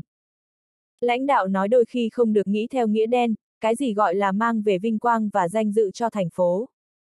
Rõ ràng là đang gõ đầu mình, nếu anh làm không tốt thì một bí thư thị ủy như tôi cũng mất mặt. Không thể, tuyệt đối không thể, nếu như anh không thành công thì sẽ phụ lòng kỳ vọng của cán bộ nhân dân cả thành phố, hậu quả sẽ rất nghiêm trọng. Tần Văn Hán cúp điện thoại và bước ra ngoài rất nhanh, lúc này hắn thật sự giống như một chiến sĩ chuẩn bị bước ra xa trường, tràn đầy kiên quyết và kiên định. Nhưng đi đến cuối hành lang thì đầu óc Tần Văn Hán chợt tỉnh táo trở lại, hắn nhìn thấy tấm biển đánh dấu đó là nhà vệ sinh, hắn chợt nhớ ra một vấn đề, đó là mình không biết phòng của Bí Thư Vương ở chỗ nào. Tần Văn Hán vỗ lên đầu mình một cái thật mạnh, hắn thầm mắng một tiếng, bây giờ là lúc nào rồi mà mình còn làm loạn như vậy. Thế là hắn gõ cửa một gian phòng rồi hỏi. Xin hỏi đồng chí có biết phòng làm việc của Bí Thư Vương ở chỗ nào không? Nhân viên công tác rất nhiệt tình, không những chỉ đường mà còn nói bí thư vương vừa ra ngoài, để hắn đến phòng khách chờ đợi. Đến phòng khách chờ, Tần Văn Hán nghe thấy lời đề nghị như vậy mà thật sự sinh ra cảm giác chán nản mệt mỏi. Chiều qua vì không muốn gặp người ta mà hắn cũng sắp xếp đưa hai người đào nghị thăng đến phòng khách chờ đợi, bây giờ thì tốt, mình đến tận cửa, cũng nhận được kết quả tương tự, vào phòng khách chờ. Có nên chờ không? Tần Văn Hán thầm nghĩ đến vấn đề này, nhưng vẫn là câu nói của bí thư la vang lên trong đầu, chờ, nhất định phải chờ. Tút, tút, tút. Tiếng chuông điện thoại vang lên, Tần Văn Hán nhìn dãy số và thiếu chút nữa thì rơi vào trạng thái tan vỡ, chủ tịch ngụy lại gọi đến, điều này làm cho hắn sinh ra cảm giác cấp bách. Điện thoại được nối thông, Tần Văn Hán cũng không dám mở miệng trước, vì hắn sợ lúc này người gọi đến là Bí Thư La. Anh ở đâu, mau chạy về, Bí Thư Nhiếp đang ở hiện trường, anh mau báo cáo cho Bí Thư về tiến độ của công trình. Chủ tịch ngụy nói xong cũng không chờ Tần Văn Hán lên tiếng mà nhanh chóng cúp điện thoại. Bí Thư Nhiếp đến thăm công trình. Tần Văn Hán chợt cảm thấy đầu óc muốn rối loạn cả lên, dù hắn biết công trình này cực kỳ quan trọng với tỉnh ủy, thế nhưng bí thư nhiếp hôm qua vừa đến, sáng nay lại đến thăm công trình, thật sự tỏ thái độ quá cấp bách. Nhiếp hạ quân đến, như vậy phải làm sao? Mình phải ứng đối thế nào? Tần Văn Hán tất nhiên phải cho lãnh đạo một câu trả lời phù hợp, dù hắn không phải là người trong quan trường, thế nhưng hắn cũng biết rất rõ ràng, quan trường chú ý quy củ, lãnh đạo đã sắp xếp thứ gì thì căn bản không có hồi âm, tất cả đã được quyết định. Anh nói xem, bây giờ sự việc quá rắc rối phức tạp, nói sao với bí thư nhiếp đây? Tần Văn Hán nghĩ như vậy mà cảm thấy đầu vã mồ hôi hột, hắn lập tức bước đi nhanh hơn, cơ thể và tinh thần được đẩy lên mức tập trung cao độ. Điện thoại lại vang lên, lần này người gọi điện thoại đến chính là trưởng phòng triệu phòng xây dựng thành phố Sơn Viên. Trưởng phòng triệu gọi điện thoại đến cũng không quá cứng rắn như hai vị lãnh đạo vừa rồi, thế nhưng lại dùng giọng nói gần nói xa để nhắc nhở Tần Văn Hán, đó là công trình nhất định phải được hoàn thành viên mãn, nếu như làm không tốt thì công ty thần đằng đừng hòng còn chỗ đứng trong thành phố Sơn Viên. Khi trưởng phòng triệu cúp điện thoại thì tâm tình của Tần Văn Hán dần bình tĩnh trở lại, hắn đã chịu quá nhiều đả kích, tinh thần cũng xem như khá hơn nhiều rồi. Con bà nó rũi đầu cũng bị chém và rụt đầu cũng bị chém, vậy thì ông liều mạng. Tần Văn Hán thầm có tính toán như vậy, thế là hắn nhanh chóng bước xuống lầu của khu văn phòng tỉnh đoàn. Trên công trường bái tổ đài, lúc này có thể nói là mặt trời lên cao chiếu sáng rực rỡ và gió thổi nhẹ, tất nhiên thời tiết là rất tốt. Nhưng lúc này đám người đứng đây lại cảm thấy không tốt, tâm tình kẻ nào cũng hạ xuống rất thấp, đặc biệt là Phó Chủ tịch ngụy và trưởng phòng xây dựng Triệu Hạc Minh, hai người này thậm chí cảm thấy cơ thể đang run lên từng đợt. Nhưng bọn họ dù có run cũng không dám biểu hiện ra ngoài, vì lúc này vẻ mặt của lãnh đạo đứng đầu thành phố Sơn Viên thật sự giống như mây đen che mặt trời. Kỹ sư tôn, anh nói xem dựa vào tiến độ hiện tại thì có thể hoàn thành trong thời gian 3 ngày không? Giọng điệu của bí thư nhiếp vẫn rất bình tĩnh, thế nhưng bên trong lại ẩn giấu cảm giác uy nghiêm vô hạn. Kỹ sư tôn trước kia gặp mặt vị lãnh đạo cao nhất là trưởng phòng triệu của phòng xây dựng. Bây giờ hắn lại được gặp mặt bí thư tỉnh ủy, thế là không khỏi sinh ra cảm giác luống cuống tay chân. Bí thư nhiếp, điều này, điều này, không đủ công nhân hàn, nếu muốn hoàn thành trong 3 ngày. Chỉ sợ là không đủ.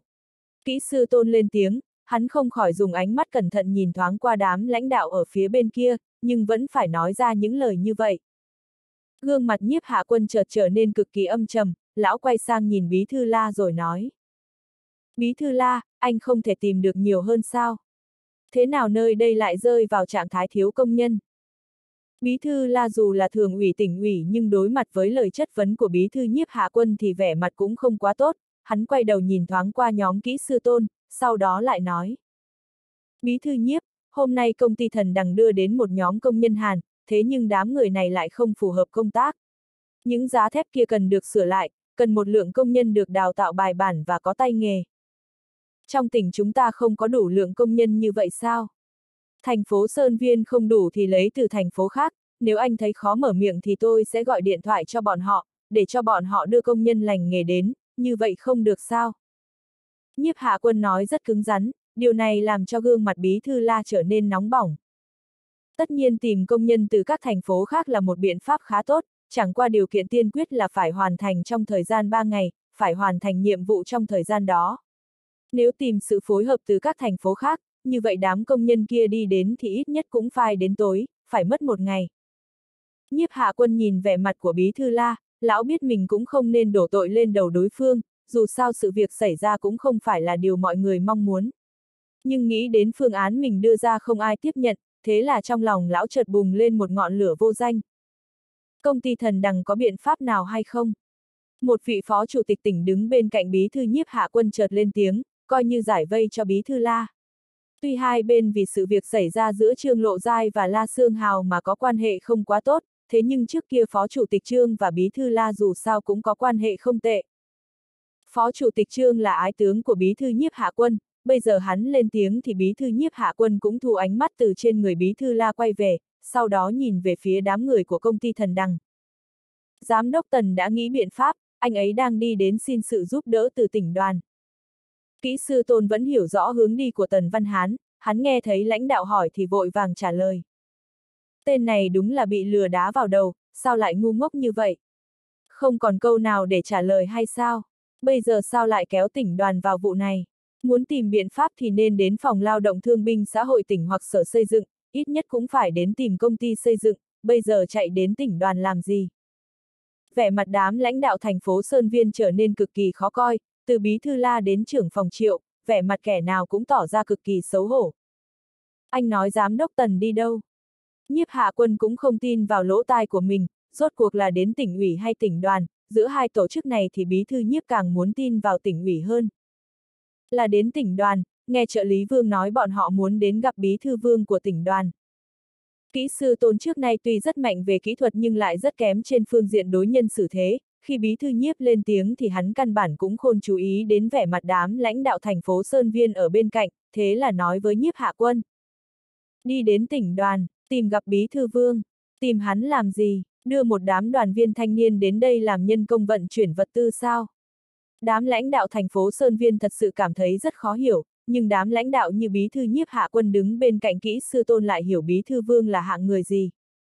Loại chuyện này sao lại đến tìm vương tử quân? Nhiếp hạ quân không khỏi lắc đầu, khi lão chuẩn bị lên tiếng hỏi kỹ sư tôn thì một người từ bên dưới đang vội vàng chạy lên. Chào bí thư nhiếp, bí thư la, chủ tịch trương.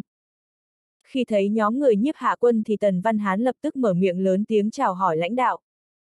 Chủ tịch ngụy cũng không chờ Tần Văn Hán chào hỏi mình, hắn vội vàng nói.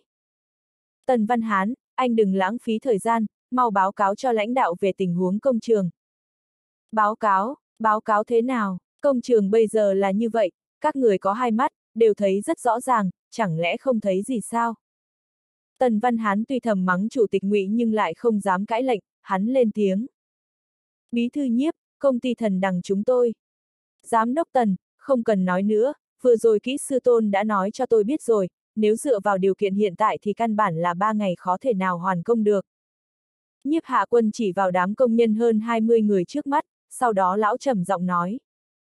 Âm thanh của nhiếp hạ quân tuy không quá lớn nhưng lại rất có lực lượng, điều này làm cho Tần Văn Hán chợt sinh ra cảm giác hít thở không thông.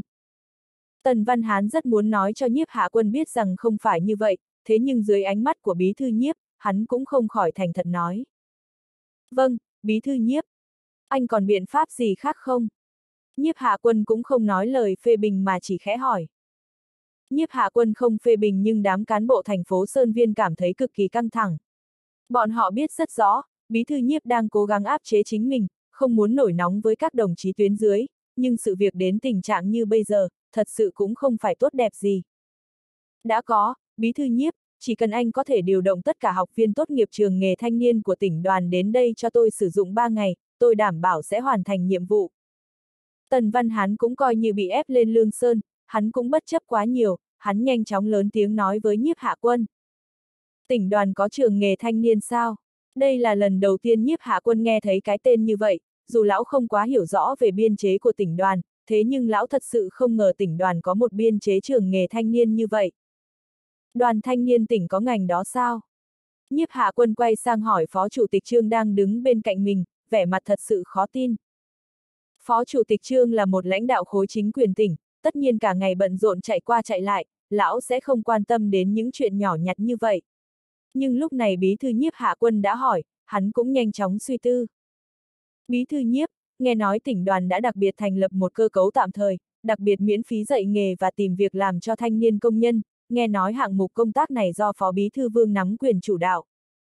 Phó Chủ tịch Trương thật sự nghĩ không ra, nhưng thư ký của Phó Chủ tịch Trương thấy lãnh đạo khó xử thì vội vàng đáp lời. Trước đó Vương Tử Quân ra tay giải quyết vấn đề liên quan đến hai vị trí phó chủ nhiệm văn phòng tỉnh đoàn cực kỳ tốt, tuy đám lãnh đạo tỉnh ủy không biết rõ nhưng đám cán bộ phục vụ cho lãnh đạo ở trong các khu văn phòng chính quyền và tỉnh ủy lại biết rất rõ ràng. Vậy thì điều bọn họ đến đây, cứu cấp như cứu hỏa. Nhiếp hạ quân vỗ tay rồi cho ra quyết định. Gọi điện thoại cho Âu Dương Dương và Vương Tử Quân, để cho bọn họ lập tức đưa tất cả học viên đến đây, tôi sẽ ở đây chờ. Một câu nói tôi sẽ ở đây chờ không biết làm cho bao nhiêu cán bộ cảm thấy choáng váng, ai lớn gan đến mấy cũng khôn dám để bí thư tỉnh ủy đứng đây chờ. Vì vậy mà nhân viên công tác nhanh chóng gọi điện thoại cho văn phòng tỉnh đoàn, lúc này các vị lãnh đạo tỉnh đoàn đang mở hội nghị, trong một phòng họp của văn phòng tỉnh đoàn, những làn hơi nước liên tục bốc lên từ những ly trà nóng hổi. Hội nghị diễn ra rất thuận lợi dưới sự khống chế của Bí thư Âu Dương Dương, thông qua vài sắp xếp công tác. Sau đó Phó Bí thư Triệu Nguyên cố đón lấy những sắp xếp của Bí thư Âu Dương Dương, hắn đứng lên truyền đạt văn kiện của Trung ương đoàn, sau đó hội nghị được tiến hành theo từng hạng mục riêng, tất cả diễn ra rất bình tĩnh, căn bản không có vấn đề bất thường. Trung Địch Hồng là thư ký của Bí thư Âu Dương Dương, nàng là người viết bản ghi chép nên cũng được tham gia hội nghị, lúc này bàn tay nhỏ đang liên tục múa bút, từng sự kiện được ghi lại trên giấy. Lúc này Trung Địch Hồng ghi chép cực kỳ chăm chú, nhưng tâm tư của nàng cũng không đặt lên công tác của mình, nàng nghĩ không biết khi nào thì hội nghị nhàm chán này mới kết thúc, lại nghĩ đến buổi hẹn tối nay.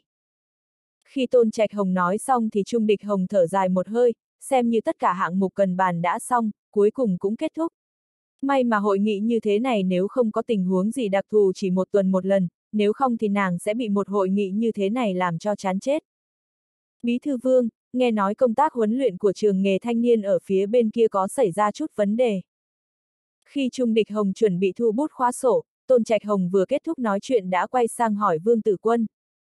Trong lúc họp Vương Tử Quân tỏ ra cực kỳ an phận, bây giờ hắn không muốn tính toán chi ly trên những việc nhỏ nhặt, cũng không muốn tranh chấp với người ta. Sau khi nghe được câu hỏi chất vấn của Tôn Trạch Hồng, hắn cười cười nói. Cũng không phải là chuyện gì lớn, chỉ là nhóm học viên đầu tiên sắp tốt nghiệp, muốn thông qua sự liên lạc của trung tâm giới thiệu việc làm thanh niên công nhân để tìm cho bọn họ một công tác phù hợp. Tôn Trạch Hồng cười nói. Đây có thể là chuyện lớn, nó liên quan đến hướng đi nhân sinh của một nhóm lớn học viên thanh niên, cũng liên quan đến danh dự của trường nghề thanh niên thuộc tỉnh đoàn chúng ta. Bí thư vương nhất định phải nắm thật chặt, nếu có gì cần thì bí thư vương cũng không nên khách khí, cứ mở miệng là được, chúng tôi sẽ không chối từ. Tôn Trạch Hồng lên tiếng cực kỳ khách khí, hơn nữa lại rất nhiệt tình, nhưng Vương Tử Quân sao lại không hiểu ý của đối phương. Đó chính là Tôn Trạch Hồng muốn nhỏ thuốc vào mắt Vương Tử Quân trong hội nghị lần này, nói cho hắn biết đó là công tác quan trọng, nếu có bất kỳ vấn đề gì thì đó là trách nhiệm của Vương Tử Quân. Bí thư Tôn nói đúng, tôi cảm thấy chúng ta nên cực kỳ coi trọng sự kiện này. Bí thư Vương, có chuyện gì thì anh cũng đừng nên ôm đồm một mình, tỉnh đoàn chúng ta là một tập thể, có gì mọi người sẽ cùng nghĩ biện pháp, như vậy sẽ không có cửa ải nào không vượt qua. Công ty Thần Đằng là một doanh nghiệp tư nhân, bọn họ lại để cho Bí Thư Vương chờ đợi hơn 2 giờ, rõ ràng là muốn ức hiếp người tỉnh đoàn chúng ta. Tôi đã nói vài lời với hai người bạn công tác ở phòng công thương, nhất định phải cho công ty Thần Đằng kia một bài học. Triệu Nguyên cố cho Tôn Trạch Hồng nói xong thì cũng khẽ đấm lên mặt bàn rồi dùng giọng phẫn nộ nói. Âu Dương Dương nhìn biểu hiện của hai vị phó bí thư, trong lòng chợt phát lạnh.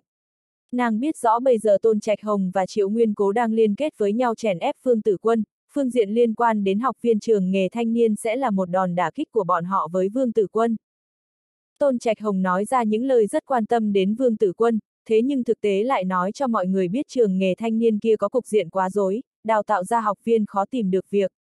Nếu sự việc này được xác nhận, như vậy nó sẽ chối bỏ tất cả thành tích của Vương Tử Quân. Còn Triệu Nguyên Cố thì càng lên tiếng hạ thấp tư cách của Vương Tử Quân, biểu hiện thực lực của chính mình với tất cả mọi người.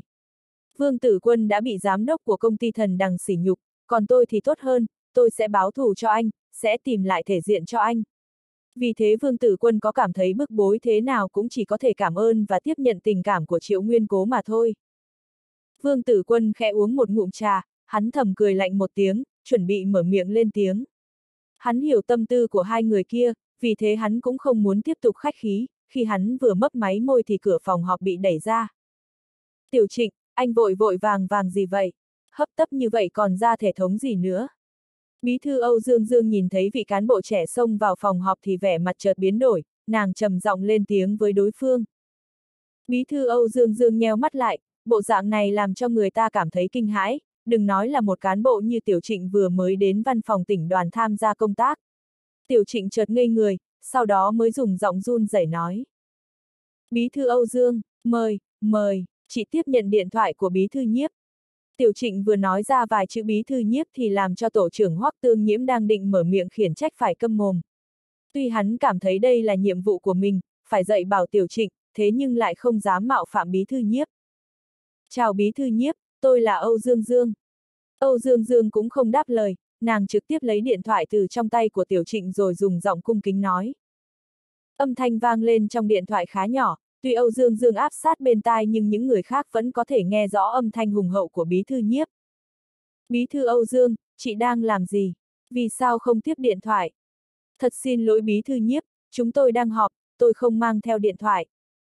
Âu Dương Dương lên tiếng giải thích, sau đó nàng lên tiếng đảm bảo. Bí thư nhiếp, sau này tôi sẽ không để tình huống này tiếp diễn. Được rồi, đừng nói những lời như vậy, chị và Vương Tử Quân mau đưa tất cả học viên của trường nghề thanh niên nhanh chóng chạy đến bái tổ đài, tôi chờ các người. Nhiếp hạ quân cũng không chờ Âu Dương Dương nói hết lời, lão nhanh chóng cúp điện thoại. Bí thư nhiếp yêu cầu đưa các học viên của trường nghề thanh niên đến bái tổ đài làm gì?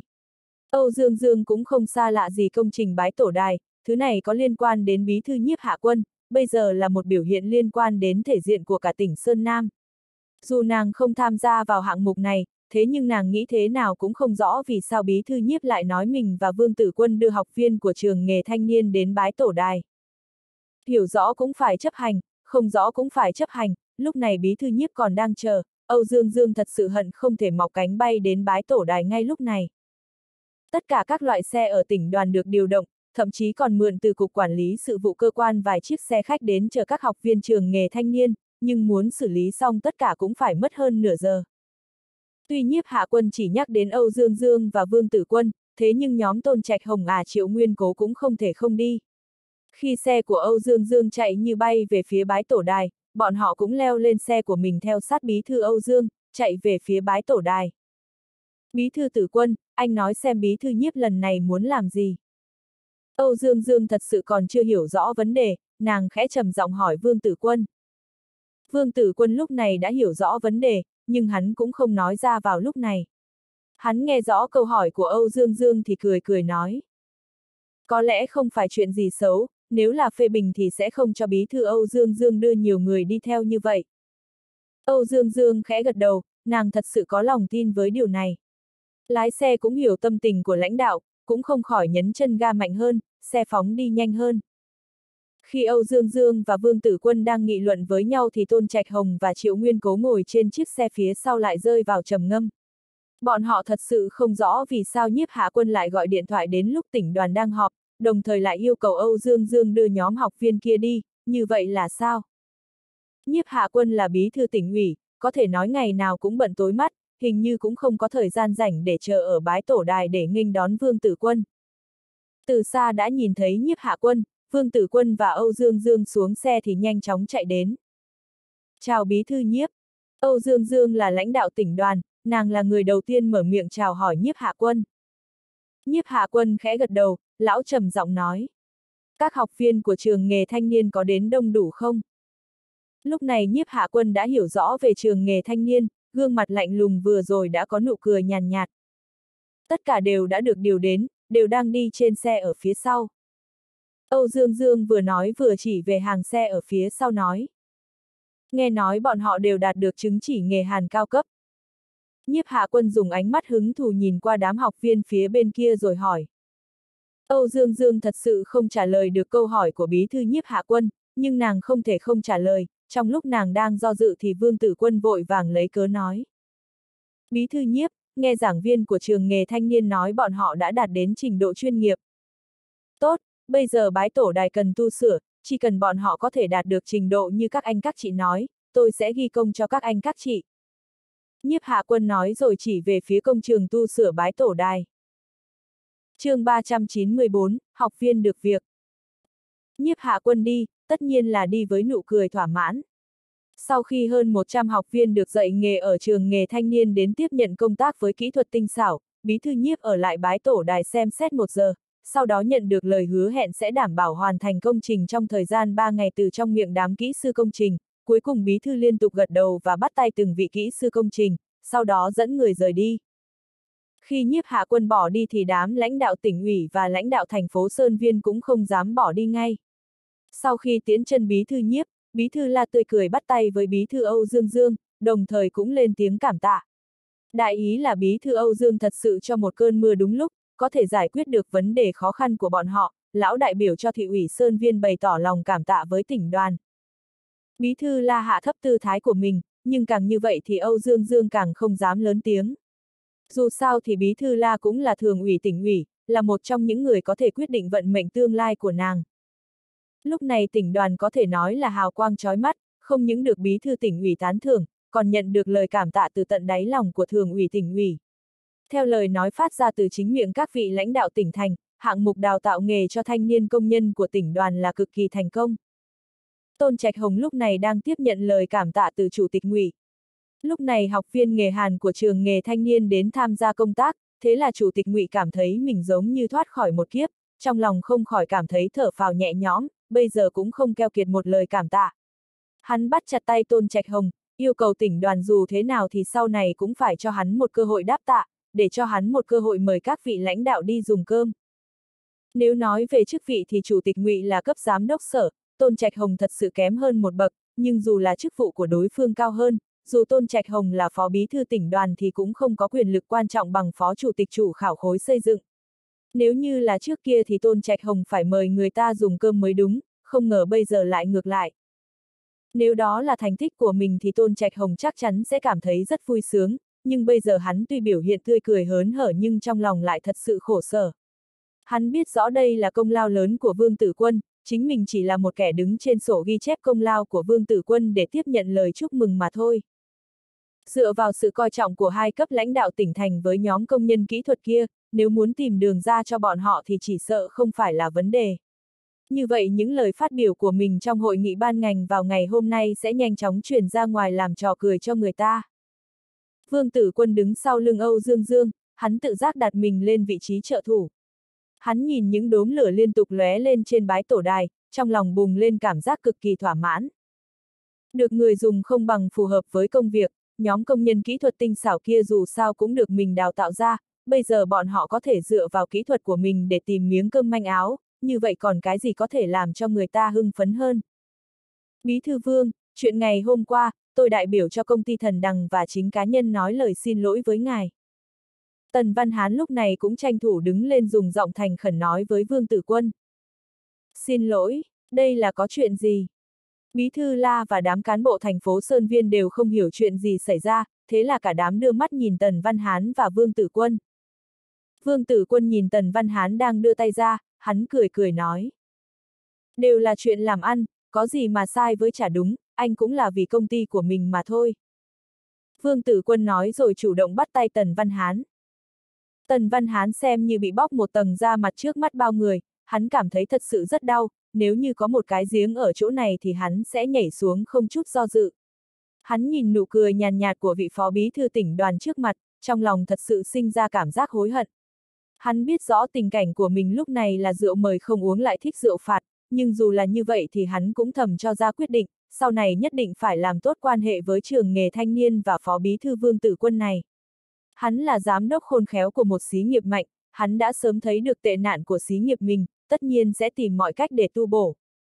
Nhưng vấn đề thiếu khuyết nhân công hàn kỹ thuật cao thật sự khó thể nào giải quyết ngay được, hắn rất thích các công trình lớn nhưng lại không dám vì thực lực của mình khó nuốt trôi.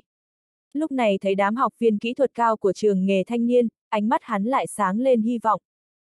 Bí thư vương, tôi muốn tuyển tất cả học viên của trường nghề thanh niên các anh vào công ty thần đằng. Anh cứ yên tâm, công ty của chúng tôi có nguyên tắc với nhân công, dù là lý lịch gì, chỉ cần có năng lực sẽ được nhận phần đãi ngộ xứng đáng, tôi sẽ tuyệt đối cho ra một chế độ đãi ngộ như nhau. Tần Văn Hán bắt chặt tay Vương Tử Quân, hắn dùng giọng cực kỳ chân thành và tha thiết để nói. Nếu như những lời này Tần Văn Hán nói vào ngày hôm qua thì Vương Tử Quân sẽ tỏ ra vui sướng không thôi, nhưng lúc này cảm giác đó đã giảm đi rất nhiều. Hắn đã chuẩn bị mở hội trợ việc làm, tất nhiên sẽ không để cho người khác ôm chọn số lượng công nhân kỹ thuật này trước khi bắt đầu hội trợ. Cảm ơn ý tốt của giám đốc Tần, nhưng những học viên này muốn công tác ở chỗ nào, chúng ta phải để cho bọn họ tự do lựa chọn, tự bọn họ cho ra quyết định. Trường nghề thanh niên chúng tôi có nhiệm vụ dạy nghề cho bọn họ, cũng không phải bao luôn phương diện phân phối học viên. Giám đốc Tần nếu như muốn vung tay thu nhận những học viên kia về dưới trướng của mình, tôi thấy không bằng thế này, quý công ty có thể tham gia hoạt động giới thiệu việc làm của tỉnh đoàn, đến lúc đó hai bên sử dụng lao động và người lao động có thể trực tiếp trao đổi bàn bạc, như vậy không phải là hợp tác tốt đẹp sao? À, cũng tốt, nhưng dù thế nào thì tôi cũng phải cảm ơn Bí Thư Vương, nếu như không có các học viên của anh đến hỗ trợ, chỉ sợ lần này công ty thần đằng chúng tôi sẽ vấp phải một tổn thất khó thể nào đền bù được. Tần Văn Hán nghe xong ý kiến của Vương Tử Quân thì cũng không tiếp tục dây dưa ở vấn đề này, hắn thay đổi chủ đề, tiếp tục nói lời cảm tạ với Vương Tử Quân. Hội trợ tuyển dụng sao? Bí thư Âu Dương, Bí thư Vương, tỉnh đoàn các anh xem ra thật sự rất mạnh ở phương diện đào tạo và hướng nghiệp cho thanh niên đoàn viên. Thế này đi, hội trợ giới thiệu việc làm lần này nên được tổ chức ở đại sảnh của Phòng Lao động Thương binh Xã hội thành phố Sơn Viên, như vậy cũng xem như cho thành phố Sơn Viên dính vào chút hào quang của tỉnh đoàn. Bí thư la nghe thấy hai người Vương Tử Quân và Tần Văn Hán nói chuyện với nhau thì dùng giọng đầy hứng thú chen vào. Bí thư la nói như vậy là hoàn toàn có mục đích, lão muốn ném một phần nhân tình cho tỉnh đoàn, vì đại sảnh của phòng lao động thương binh xã hội rộng hàng ngàn mét vuông, tất nhiên sẽ là một địa điểm rất tốt để tiến hành hội trợ việc làm. Cảm ơn Bí Thư La đã quan tâm giúp đỡ công tác của tỉnh đoàn chúng tôi. Âu Dương Dương cũng là người phụ nữ thông minh, cũng biết cách ẩn giấu, khi nào nên tỏ ra vui mừng, khi nào nên buồn. Một vị thường ủy tỉnh ủy mở lời lấy lòng thì tất nhiên sẽ là một chuyện cực kỳ vui sướng với nàng, vì sao mình lại không có biểu hiện vui vẻ cơ chứ? Sau khi Bí Thư La nói lời cảm tạ thì Âu Dương Dương nhìn thoáng qua Vương Tử Quân, hôm nay thật sự là quá tốt, trời xanh, mây trắng, không khí tươi mát. Sau khi được vài vị lãnh đạo tỉnh ủy khen ngợi thì nàng thật sự cảm thấy rất thoải mái, vì từ khi nàng là bí thư tỉnh đoàn thì thật sự chưa từng được khen thưởng đến mức như thế, nguyên nhân cũng là vì vị thủ hạ cấp phó của mình đưa ra đề án xây dựng trường nghề cho thanh niên công nhân. Vì đây là công trường nên các vị lãnh đạo tỉnh thành cũng không ở lại lâu, ngoài những người phụ trách công trình thì người còn lại đều lục tục bỏ đi, đặc biệt là bí thư La càng rời đi sớm hơn, cũng mang theo một nhóm cán bộ thị ủy. Trên xe của tỉnh đoàn, lúc này gương mặt Âu Dương Dương cực kỳ vui vẻ, còn Trúc Nghiêm Dương đến lúc này vẫn còn cảm thấy bất an thì càng vui mừng như điên. Dù thế nào thì hắn cũng là hiệu trưởng của trường nghề thanh niên, sự kiện hôm nay rõ ràng là một thành tích hiển hách của hắn. Hơn nữa vừa rồi bí thư nhiếp nghe nói Trúc Nghiêm Dương là hiệu trưởng trường nghề thanh niên, lãnh đạo còn đặc biệt bắt tay và trò chuyện với hắn vài câu. Bí thư Âu Dương, bí thư Vương, hôm nay là ngày vui lớn, tôi đề nghị chúng ta nên tìm một chỗ nào đó để ăn mừng, coi như chúc mừng thắng lợi. Trúc Nghiêm Dương thấy các vị lãnh đạo tỉnh đoàn có tâm tình rất tốt, thế là dùng giọng vui vẻ góp thêm hứng thú. Âu Dương Dương gật đầu cười cười nói. À, thật sự là ngày vui. Chủ nhiệm thụ cường, anh sắp xếp đi, hôm nay chúng ta xem như mở tiệc chúc mừng công lao cho hiệu trưởng Trúc Nghiêm Dương của trường nghề thanh niên. Vâng, tôi sẽ đi sắp xếp nghi. Lâm Thụ Cường dùng ánh mắt ghen ghét nhìn Trúc Nghiêm Dương, sau đó vội vàng dùng giọng cung kính nói. Thật ra Lâm Thụ Cường rất khôn khéo, hắn thấy lần này người được chúc mừng công lao là Trúc Nghiêm Dương, thế nhưng thực tế thì đó phải là Vương Tử Quân, vì tất cả đều được bắt đầu từ Bí Thư Vương. Sau chuyện này chỉ sợ địa vị của Vương Tử Quân ở tỉnh đoàn sẽ ngàng càng lớn mạnh và kiên cố, mà khác biệt giữa mình và Vương Tử Quân sẽ ngày càng lớn. Lâm Thụ Cường nghĩ đến vị trí của Phó Bí Thư Vương và mình, hắn nghĩ rằng nếu vị trí Phó Bí Thư này thuộc về mình, biết đâu mình cũng sẽ được người ta chú ý như Vương Tử Quân. Đám người Tôn Trạch Hồng cũng cảm thấy cực kỳ ghen ghét, thế nhưng đây là bữa tiệc khánh công, bọn họ tất nhiên sẽ không phản đối. Thế là đoàn người cùng nhau đi đến cẩm viên tinh dưới sự sắp xếp của Lâm Thụ Cường. Một ly rượu này chúng ta kính chúc Bí Thư Vương và chúc Nghiêm Dương, bọn họ là công thần của chúng ta, nếu như không có bọn họ thì chúng ta sẽ không có được vinh quang như ngày hôm nay. Món ăn vừa được dọn lên thì Âu Dương Dương đã nâng ly rượu cười nói với mọi người. Âu Dương Dương nâng ly thì những người khác cũng không nhàn rỗi, khi mọi người cùng nâng ly thì Vương Tử Quân đã cười nói. Bí thư Âu Dương, chị biết tôi không thể uống rượu mà lại nghĩ biện pháp chuốc rượu, tôi cũng không thể từ chối. Mặt khác trường nghề thanh niên hoạt động dưới sự lãnh đạo của chị, là quyết sách cụ thể của tỉnh đoàn, chị cũng không thể vung tay ép lên đầu hai người chúng tôi như vậy được. Vương Tử Quân nói làm cho nụ cười trên mặt Âu Dương Dương càng tươi sáng thêm ba phần, tuy người nào cũng biết không thể thiếu công lao của bí thư Âu Dương Dương, vì dù sao nàng cũng là bí thư tỉnh đoàn. Nhưng Vương Tử Quân chính miệng nói ra những lời như vậy thì càng làm cho nàng cảm thấy vui vẻ hơn. Dưới lời đề nghị của Vương Tử Quân, mọi người cùng nhau cạn chén. Vì đây là vinh quang chưa từng có của tỉnh đoàn, thế cho nên mọi người đều biểu hiện cực kỳ vui sướng. Bí thư tử quân, sự kiện lần này làm cho tỉnh đoàn chúng ta lộ mặt trước lãnh đạo tỉnh ủy, thế nhưng càng là như vậy thì chúng ta càng không nên lơ là, đặc biệt là hội trợ việc làm không nên phát sinh bất kỳ sai sót nào. Âu Dương Dương đặt đũa xuống rồi nói với Vương Tử Quân. Vương Tử Quân khẽ gật đầu, hắn hiểu rõ chuyện này, bây giờ có công ty thần đằng lên tiếng, có thể nói là nắm chắc trăm phần trăm. Âu Dương Dương cũng chỉ là dặn dò vài câu, Vương Tử Quân gật đầu đồng ý thì nàng cũng chuyển chủ đề sang phương diện khác. Trước kia Âu Dương Dương tuy uống cũng khá nhiều nhưng cũng không đến mức bộ lộ tử lượng của mình ra giống như hôm nay. Khi một chai rượu uống cạn thì cửa phòng mở ra, một tên nhân viên phục vụ trẻ tuổi bưng thức ăn vào phòng. Đối với chuyện bưng thức ăn thì có thể nói là quá bình thường, nhưng lúc này lại có hình bóng một người đàn ông trung niên xuất hiện ngoài cửa. Người đàn ông trung niên này cũng không phải là đi một mình, bên cạnh còn có một cô gái, tuy cô gái kia nhìn như thế nào thì thật sự không quá rõ, thế nhưng trên tay lại có một bé gái. Âu Dương Dương đang mỉm cười trò chuyện với Vương Tử Quân, đúng lúc thấy hình bóng người đàn ông trung niên kia lóe lên thì vẻ mặt nàng chợt trở nên cực kỳ khó coi, giống như gió đông lạnh lẽo thổi vào mặt, thật sự rất khó coi. Chút biến đổi xảy ra trên mặt Âu Dương Dương chỉ trong khoảnh khắc, thế nhưng nó không thể nào che giấu ánh mắt sáng ngời của Vương Tử Quân. Hắn rất muốn biết người đàn ông trung niên làm cho vẻ mặt bí thư Âu Dương biến đổi là ai, thế nhưng lúc này cánh cửa đã đóng lại. Nâng ly, chúng ta cùng nhau cạn chén. Âu Dương Dương cố gắng tươi cười, nàng nâng ly rượu lên nói. Nhưng lúc này nàng cũng không thật sự chờ người ta nâng ly, nàng nhanh chóng uống cạn ly rượu của mình. Người kia rốt cuộc là ai? Vương tử quân thầm nghĩ như vậy, cuối cùng cũng uống cạn ly rượu của mình. Bữa tiệc kéo dài thêm một giờ nữa thì kết thúc, khoảng thời gian sau đó Âu Dương Dương biểu hiện rất tự nhiên giống như chưa từng có chuyện gì phát sinh. Dù Vương Tử Quân có chút nghi ngờ về người đàn ông trung niên kia, thế nhưng hắn cũng không thích những người thích suy nghĩ lung tung, vậy nên sau khi uống vào vài ly thì đầu óc bắt đầu sinh ra cảm giác mơ hồ. Khi ngày tế tổ dần đến gần thì trọng điểm công tác của tỉnh Sơn Nam chính là tập trung vào ngày tế tổ, tất cả những chuyện lớn nhỏ đều được triển khai mở rộng. Công tác sửa chữa bái tổ đài càng làm cho đám lãnh đạo thành phố Sơn Viên cực kỳ coi trọng. Bí thư tỉnh ủy nhiếp hạ quân, lãnh đạo khối chính quyền tỉnh hầu như mỗi ngày đều đến bái tổ đài xem xét một lượt, khi bái tổ đài từng bước được sửa chữa thì nụ cười trên mặt bí thư nhiếp hạ quân càng thêm sáng lạn. Đây là một công trình chủ yếu của tỉnh, tất nhiên người của cơ quan tỉnh đoàn cũng không bỏ qua thời cơ tốt đẹp lần này, không những chỉ là Âu Dương Dương mà ngay cả đám người tôn trạch hồng không có việc gì làm cũng chạy đến bái tổ đài, bọn họ muốn nhân cơ hội này để biểu hiện mình trước mặt lãnh đạo tỉnh. Vương Tử Quân cũng đi theo Âu Dương Dương đến bái tổ đài vài lần, nhưng phần lớn đều là Âu Dương Dương gọi đi, hắn cũng không chủ động đi, cũng không biểu hiện quá quan tâm đến sự kiện lần này. Vì hắn biết rất rõ, dù mình có đến hay không thì công lao của mình chẳng ai cướp đi được, thế thì có xuất hiện hay không thì có khác gì đâu.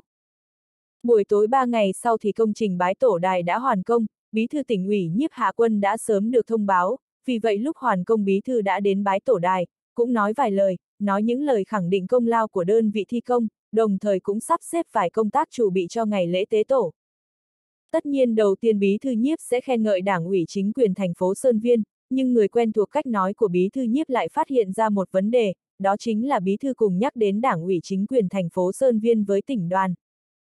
Sự việc tỉnh đoàn và trường nghề thanh niên được bí thư nhiếp nhắc đến càng được các đơn vị ban ngành trong tỉnh truyền bá xôn xao, rất nhiều người tỏ ra tràn đầy hâm mộ bí thư Âu Dương Dương, càng có người cảm thấy sau đó chắc chắn bí thư Âu Dương Dương sẽ được đề bạt, sẽ đi lên địa vị quan trọng. Tấm ảnh bí thư nhiếp bắt tay với các công nhân công trình bái tổ đài đã khép lại tấm màn cho buổi gặp mặt lần này, dù sao thì hôm nay cũng có rất nhiều lãnh đạo đến thành phố Sơn Viên, bí thư nhiếp cũng phải đi đón tiếp. Lão là lãnh đạo một tỉnh, căn bản không có thời gian ở chỗ này. Bí thư vương. Trúc Nghiêm Dương khẽ đi đến bên cạnh Vương Tử Quân, hắn khẽ kéo tay áo của Vương Tử Quân rồi lên tiếng bắt chuyện. Vương Tử Quân nhìn vẻ mặt nghiêm túc của Trúc Nghiêm Dương rồi hỏi. Có chuyện gì? Trúc Nghiêm Dương nhìn bốn phía, phát hiện không có người nào khác, thế là mới khẽ nói. Bí thư vương, nhóm Hà Đạt muốn mời bí thư đi dùng một bữa cơm. Trúc Nghiêm Dương nói rồi giống như sợ vương tử quân không biết Hà Đạt là ai, hắn vội vàng nói. Hà Đạt là lớp trưởng của lớp kỹ thuật Hàn. Vương tử quân cũng không quá xa lạ cái tên Hà Đạt, đây là một công nhân trẻ tuổi nghĩ làm ở nhà máy ngũ kim, vì không tìm thấy công việc nên vừa kết hôn chưa được bao lâu thì vợ đã yêu cầu ly hôn. Nhưng đây lại là một người có thể làm sông động bầu không khí của lớp kỹ thuật, lại là người biết ăn nói, hơn nữa làm việc rất năng động, thực chất. Vương tử quân cười khoát tay áo nói. Ba ngày nay bọn họ đã mệt mỏi rồi, hãy nói bọn họ nghỉ ngơi cho tốt. Anh nói bọn họ ngày mai nghỉ ngơi cho tốt, sau đó tôi mời bọn họ đi ăn. Trúc Nghiêm Dương biết rõ Vương Tử Quân tuy là người rất hiền hòa nhưng bình thường khi cho ra quyết định sẽ ít khi nào sửa đổi, tuy hắn rất muốn mượn cơ hội lần này để uống một trận say xưa với Vương Tử Quân, thế nhưng vẫn phải đi về phía đám học viên để truyền thông báo. Một lát sau Trúc Nghiêm Dương lại đi đến, hắn khẽ nói. Bí thư Vương, bọn họ nói vừa làm xong, muốn đi uống chút rượu, xin ngài dù thế nào cũng phải cho bọn họ một phần thưởng, nể mặt bọn họ một lần. Vừa rồi Hà Đạt đã thu tiền rồi, anh xem điều này. Thu bao nhiêu? Vẻ mặt Vương Tử Quân chợt biến đổi, giọng điệu khá trầm thấp. Trúc Nghiêm Dương cũng không ngờ Vương Tử Quân lại quan tâm đến điều này như vậy, hắn nói. Mỗi người 20 đồng. Trúc Nghiêm Dương nói đến đây thì hùng hồn giải thích. Lần này Tần Văn Hán của công ty thần đằng thật sự rất hùng hồn, mỗi ngày trả 200 đồng tiền công, 3 ngày thì mỗi người đều được 600 đồng. Vương Tử Quân có chút trầm ngâm, sau đó hắn đưa mắt nhìn về phía đám học viên, đúng lúc thấy mọi người đều nhìn về phía mình. Khi ánh mắt hai bên giao vào nhau, có nhiều người thu ánh mắt của mình lại. Được rồi, như vậy thì chúng ta đi dùng cơm, nhưng địa điểm dùng cơm là tôi lựa chọn. Vương Tử Quân cũng không từ chối, nhưng hắn lại trầm giọng phân phó với Trúc Nghiêm Dương. Đối với Trúc Nghiêm Dương thì chỉ cần Bí Thư Vương đồng ý đi dùng cơm thì đã xem như quá tốt rồi. Thế là hắn nhanh chóng thông báo Bí Thư Vương đã đồng ý đi dùng cơm cho nhóm người Hà Đạt, thế rồi đoàn người minh mông đi xuống núi.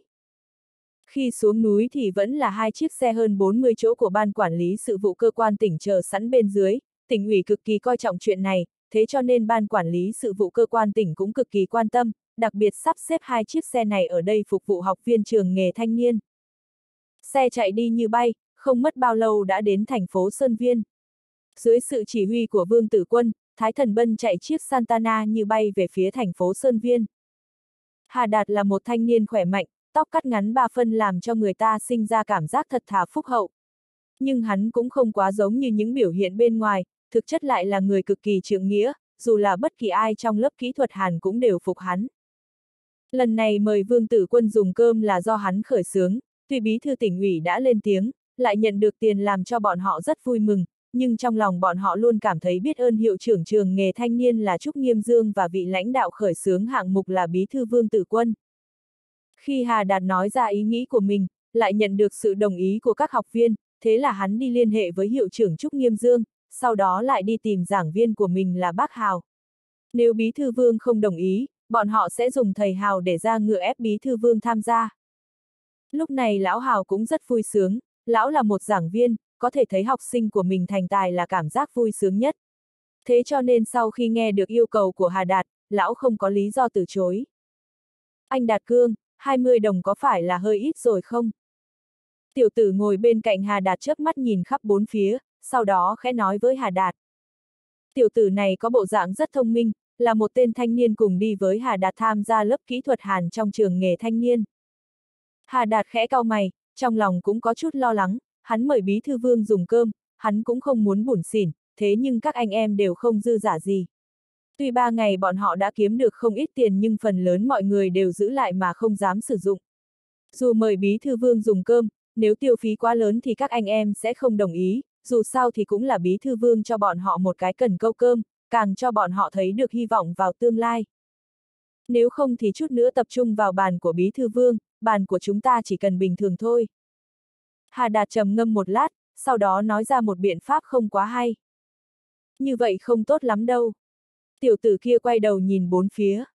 Các anh em sẽ không nói gì, thế nhưng nếu bí thư vương biết được, bí thư vương sẽ nghĩ thế nào? Nhưng này, Đạt Cương, tôi cảm thấy chúng ta cũng hoàn toàn có thể tiêu phí ô ột phen, nếu không có bí thư vương thì chúng ta nào có chuyện làm ba ngày được 600 đồng. Khi phát tiền thì giám đốc Tần cũng nói, chỉ cần chúng ta tình nguyện, bọn họ sẽ chào đón và tiếp nhận chúng ta vào công tác. Kỹ thuật của chúng ta đã vượt qua thử thách, sau này còn nhiều cơ hội kiếm tiền. Lần này chúng ta mời bí thư vương dùng cơm, rõ ràng là qua thôn phải vào điếm, tôi cảm thấy dù thế nào cũng không thể để anh em mất mặt. Anh nói xem, chúng ta mỗi người bỏ 100 cũng được. Một người đàn ông ngồi bên cạnh Hà Đạt cũng lớn tiếng nói. Đúng, mời bí thư vương dùng cơm thì cũng không thể quá mất mặt, nhất định phải làm sao cho thật tốt. Anh Hà, đây là tiền của tôi, chúng ta là anh em kết giao, lại có nghề trong tay, sau này không tìm được tiền, không có cơ hội gặp mặt nữa sao? Lúc này bắt đầu có nhiều người lên tiếng, cũng có nhiều người cầm tiền đưa đến cho Hà Đạt. Hà Đạt dù thế nào cũng không muốn cho anh em của mình mất mặt, thế là hắn vỗ ngực, chuẩn bị thu tiền của mọi người. Két! Xe khẽ dừng lại, Hà Đạt vừa đứng lên thiếu chút nữa đã ngã xuống.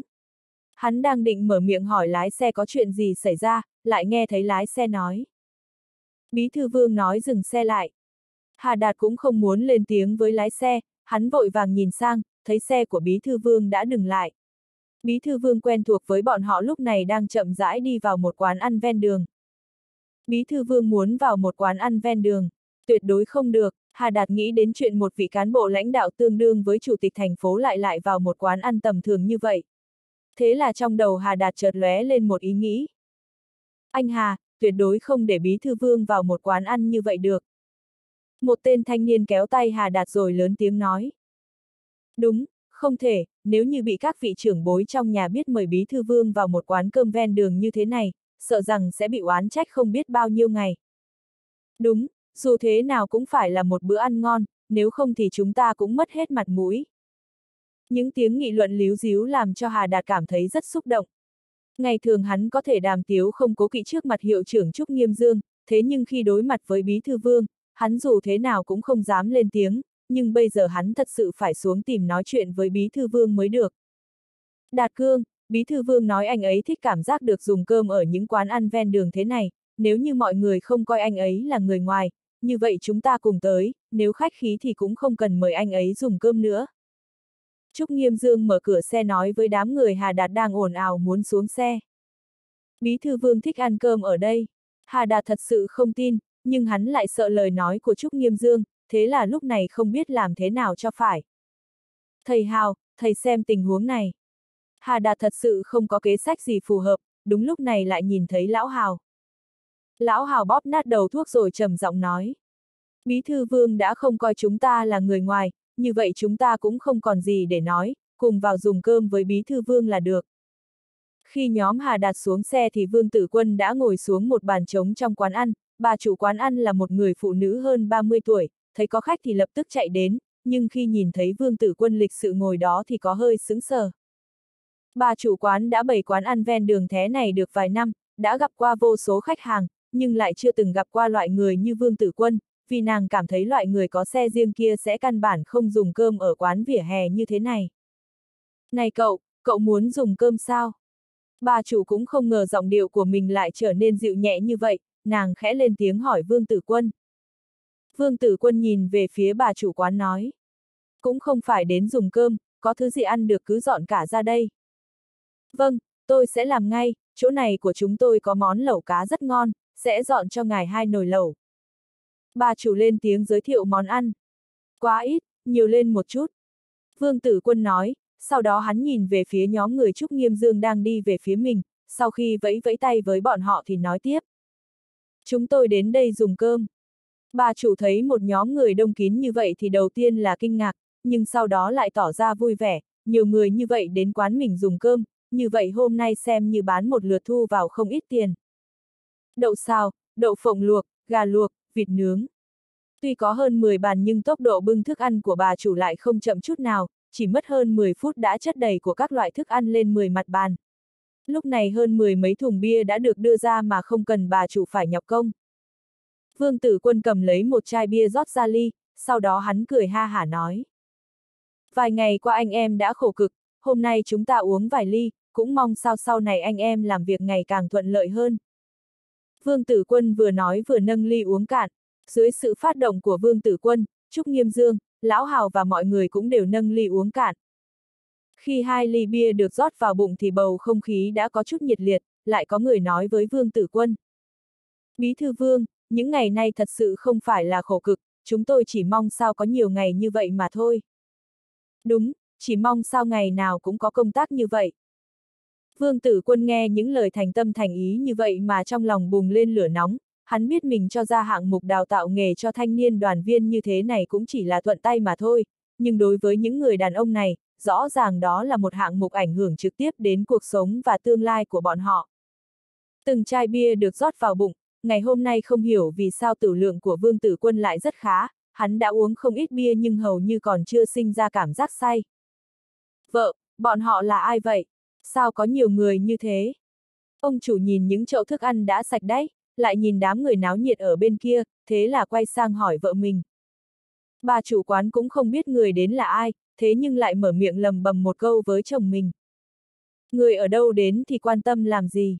Nhìn cậu trai kia xem, có lẽ không phải là người xấu. Người không thể nhìn vào vẻ bề ngoài, biết đâu một tên thanh niên lịch sự như vậy lại là đại ca xã hội đen. Thấy bà vợ của mình nhìn chằm chằm vào tên thanh niên kia, ông chủ quán không khỏi sinh ra chút cảm giác ghen tị. Anh xem mình kìa, đúng là mồm chó không mọc được ngà voi. Bà chủ cũng không sợ chồng, nàng dùng ánh mắt hung hăng nhìn chồng mình, sau đó tiếp tục bưng thức ăn lên, lắc hông đi về phía bàn của Vương Tử Quân. Két! Một tiếng mô tô thắng gấp vang lên trên đường cái, khi âm thanh kia vang lên thì hai chiếc xe mô tô cảnh sát chợt xuất hiện. Đám người Hà Đạt đang ăn uống với khí thế ngất trời lại nghe thấy âm thanh như vậy, cả đám không tự chủ được quay đầu nhìn về phía phát ra âm thanh, khi thấy cảnh sát đến thì không khỏi hạ thấp âm thanh xuống một chút. Các người đang làm gì? Đi đầu là một nữ cảnh sát, nàng thấy một đám đàn ông đang ồn ào mời rượu thì không khỏi tỏ ra cảnh giác, những tên đàn ông kia dù nhìn thế nào cũng không giống như sinh viên học sinh, nhiều người thế kia tụ tập lại thì rõ ràng cũng không phải là chuyện gì tốt. Công nhân thấy cảnh sát thì cũng sinh ra chút cảm giác kinh sợ, vô tình cũng không có người nào lên tiếng. Hà Đạt đang rót rượu mời Vương Tử Quân thấy tình huống như vậy thì vội vàng muốn đi ra, lại nghe thấy Vương Tử Quân nói với nữ cảnh sát kia. Tiểu Trình, bọn họ đều là học viên của trường nghề thanh niên chúng tôi, bây giờ bọn họ tốt nghiệp, thế nên cùng nhau ra đây làm vài ly. Đỗ Tiểu Trình thật sự không tin vào lỗ tai của mình, nhưng khi ánh mắt của nàng rơi lên gương mặt quen thuộc kia, nàng mới tin mình không nghe lầm, người nói đúng là hắn. Nhưng dù nàng có nghĩ thế nào cũng khó thể liên hệ người đàn ông hòa nhã kia với đám đàn ông nhìn giống như lưu manh thế này lại ngồi cùng một chỗ với nhau, thế nhưng sự thật là sự thật, hắn đang ngồi ở phía bên kia. Sao anh lại dùng cơm ở chỗ này? Đỗ Tiểu Trình nhìn thấy Vương Tử Quân ngồi đó, thế là không khỏi dùng giọng mơ hồ hỏi. Vương Tử Quân cười cười nói. Sao tôi không ngồi dây dùng cơm được, nếu chưa dùng cơm thì vào đây ăn luôn cho vui. Đỗ Tiểu Trình đến nơi này vốn cũng không phải là dùng cơm, nhưng lúc này nghe được lời mời của Vương Tử Quân thì cũng không tự chủ được phải ngồi xuống. Vương Tử Quân thấy đám người Hà Đạt nhìn mình bằng ánh mắt nghi ngờ, hắn khẽ cười nói. Đây là một người bạn của tôi, đang công tác ở Cục Công an thành phố Sơn Viên, sau này nếu có ai có chuyện gì liên quan, có thể đến tìm cô ấy. Khi Vương Tử Quân lên tiếng giới thiệu thì tiệc rượu lại khôi phục bầu không khí náo nhiệt, nhưng lúc này bàn tiệc của Vương Tử Quân lại yên tĩnh hơn một chút, dù sao thì trên bàn cũng có thêm một người phụ nữ, hơn nữa lại là một nữ cảnh sát xinh đẹp. Đoàn người ăn hơn một giờ, sau đó tiệc tan, sau khi để Trúc Nghiêm Dương sắp xếp xe đưa mọi người về nhà, Vương Tử Quân chuẩn bị lên xe đi về nhà. Này, có thể nói chuyện vài câu được không? Đỗ Tiểu Trình đi theo sau lưng Vương Tử Quân cũng không có chút sợ hãi, nàng nhìn thấy hắn không nói lời nào mà định leo lên xe thì thật sự có chút căm tức, thế là dùng giọng khiêu khích hỏi hắn. Tất nhiên là có thể. Vương Tử Quân cười với Đỗ Tiểu Trình, sau đó hắn xuống xe, nói Thái Thần Bân chạy đi trước. Em thật sự không ngờ có thể gặp anh ở đây. Đỗ Tiểu Trình nhìn Vương Tử Quân, nàng khẽ nói. Anh cũng không ngờ. Vương Tử Quân cũng cười cười nói. Bây giờ em công tác thế nào? Hài lòng không? Nghe Vương Tử Quân nhắc đến công tác của mình, Đỗ Tiểu Trình cười khổ một tiếng nói. Có thể không hài lòng sao? Anh ra mặt như vậy làm cho cục trưởng coi tôi như bà nội vậy. Bà nội. Vương Tử Quân nghe thấy Đỗ Tiểu Trình nói lời trêu chọc như vậy thì không hỏi quay đầu lại nhìn cô gái luôn đi theo bên cạnh mình, hắn thấy nàng mặc một bộ đồng phục cảnh sát đứng giữa trời đêm giống như một hình tượng phụ nữ vừa quyến rũ vừa oai hùng, thật sự có hương vị của một bà cô. Phụ nữ bình thường đều rất mẫn cảm với ánh mắt dò xét của người khác, Đỗ Tiểu Trình tất nhiên cũng cảm nhận được ánh mắt dò xét của Vương Tử Quân, nàng đứng thẳng ngạo nghễ, bước chân đi về phía trước lại hơi mở rộng một chút. Vương Tử Quân nhìn bộ dạng kiêu ngạo như thiên nga của Đỗ Tiểu Trình mà khẽ cười nhạt, hắn nói với nàng.